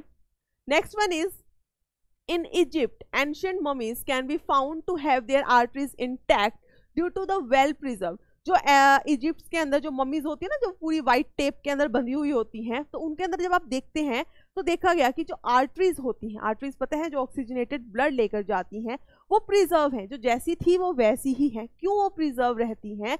क्योंकि उनके अंदर क्या मिलता है, आप याद रखेंगे इलास्टिक फाइबर्स क्या होता है बेटा? Because they contain because they have elastic fiber so correct answer here will be option number C now the next one is which one of the following gland produces insulin in human body अभी हमने बात की थी insulin कौन produce करता था बेटा? सबसे पहले तो बीटा सेल्स ठीक है? और बीटा सेल्स किसके? पेनक्रियाज के। याद आया? Beta cells are the part of islet of Langerhans and islet of Langerhan is the part of the pancreas तो आंसर क्या हो जाएगा हमारा? Option number B that is pancreas ठीक है? नेक्स्ट है which one of the, which one among the following substances is never excreted out through urine under normal circumstances in an healthy individual क्या secrete नहीं होता? ये हम कर चुके हैं रिपीटेड है। That is amino acid next which one of the following depict the correct circuit of the reflex arc reflex arc का सर्किट तो बेटा हमने क्या किया था? पहले स्टिमुलस स्टिमुलस कहाँ जाएगी? रिसेप्टर के पास। रिसेप्टर से कहाँ जाएगी? Sensory neuron then spinal cord spinal cord से क्या आएगा? मोटर न्यूरॉन मोटर न्यूरॉन कहाँ जाएगी? इफेक्टर और वहाँ से आपको मिलेगा रिस्पॉन्स तो सबसे पहले इन्होंने बोल दिया फ़र्स्ट में है इफेक्टर ये तो यहीं गलत कर दो इफेक्टर तो लास्ट में आना था। नेक्स्ट रिसेप्टर होना चाहिए। बिल्कुल ठीक है। रिसेप्टर से सेंसरी न्यूरॉन स्टार्ट हो रही है। ठीक। सेंसरी न्यूरॉन से स्पाइनल कोड हुई। ठीक है। स्पाइनल कोड से क्या आ गई बेटा? मोटर न्यूरॉन और वो गई इफेक्टर के पास। तो सेकंड नंबर पे जो सीक्वेंस है, वो बिल्कुल करेक्ट है। तो आंसर होगा हमारा ऑप्शन नंबर बी। ठीक, चलो। अगर आप नेक्स्ट वाले ऑप्शन में देखोगे बेटा तो यहाँ ब्रेन दे दिया है तो इसको वैसे ही रोंग कर देंगे हम। ठीक, चलो। नेक्स्ट है which one of the following hormone is essential for the uptake of glucose by the cells ये लाइन मैंने आपको भी लिखवाई है। For the uptake of glucose ठीक है? कौन सा हार्मोन हमें चाहिए? इंसुलिन इंसुलिन के अंदर मैं आपको ये लाइन लिखवाई है। इंसुलिन चाहिए that is option number C next which one of the following gland in human is enlarge due to goitre goitre किसकी कमी से हो रहा था? आयोडीन की कमी से। आयोडीन किसको चाहिए था? थायराइड ग्लैंड को। तो ग्वाइटर के अंदर क्या हो जाता है? Enlargement of the thyroid gland that is option number D next in human body which one among the following is the largest in size सबसे लार्जेस्ट अगर आपसे कोई ऑर्गन पूछ ले ह्यूमन बॉडी का तो आप क्या बोलोगे? लीवर। क्या बोलोगे बेटा? Liver. That is option number B next the main thinking part of the brain सबसे ज़्यादा थिंकिंग पार्ट जो आप सोच रहे हो, जो कर रहे हो, वो किससे करते हो बेटा? सैरी ब्रम से। सैरीब्रम और सैरीब्रम अब आप सोचोगे, मैम सैरीब्रम ऑप्शन में नहीं है। तो सैरीब्रम किसका पार्ट था? Cerebrum is the part of the fore brain किसका पार्ट है बेटा? फोर ब्रेन का। सो ऑप्शन नंबर सी जो है वो हो जाएगा करेक्ट आंसर ठीक। Next which part of the brain control the fine movements maintain balance equilibrium of the body muscle tone साफ़ लिखा है बेटा cerebellum and cerebellum is the part of the hind brain cerebellum किसका part है? Hind brain का. So correct answer is option number C ठीक है? Next ओ खत्म हो गया। कोई नेक्स्ट नहीं है। ये आपका हो गया खत्म। तो बेटा, आज हमने आपका ह्यूमन फिजियोलॉजी जो है ह्यूमन फिजियोलॉजी का पार्ट ऑलमोस्ट हमारा पूरा कंप्लीट कर दिया है। आ, जितना हो सकता था मैंने आपको उतना करवाया है तो आप प्लीज़ इसको अच्छे से रिवाइज कीजिएगा। जितने क्वेश्चंस आपको मिल सकते हैं उसकी प्रैक्टिस कीजिए ठीक है? और एग्ज़ाम जस्ट आ गया आ गया है आपका तो बस पूरी कंसंट्रेशन के साथ विथ फुल कॉन्फिडेंस पढ़ते रहिए। तब तक के लिए जय हिंद जय भारत।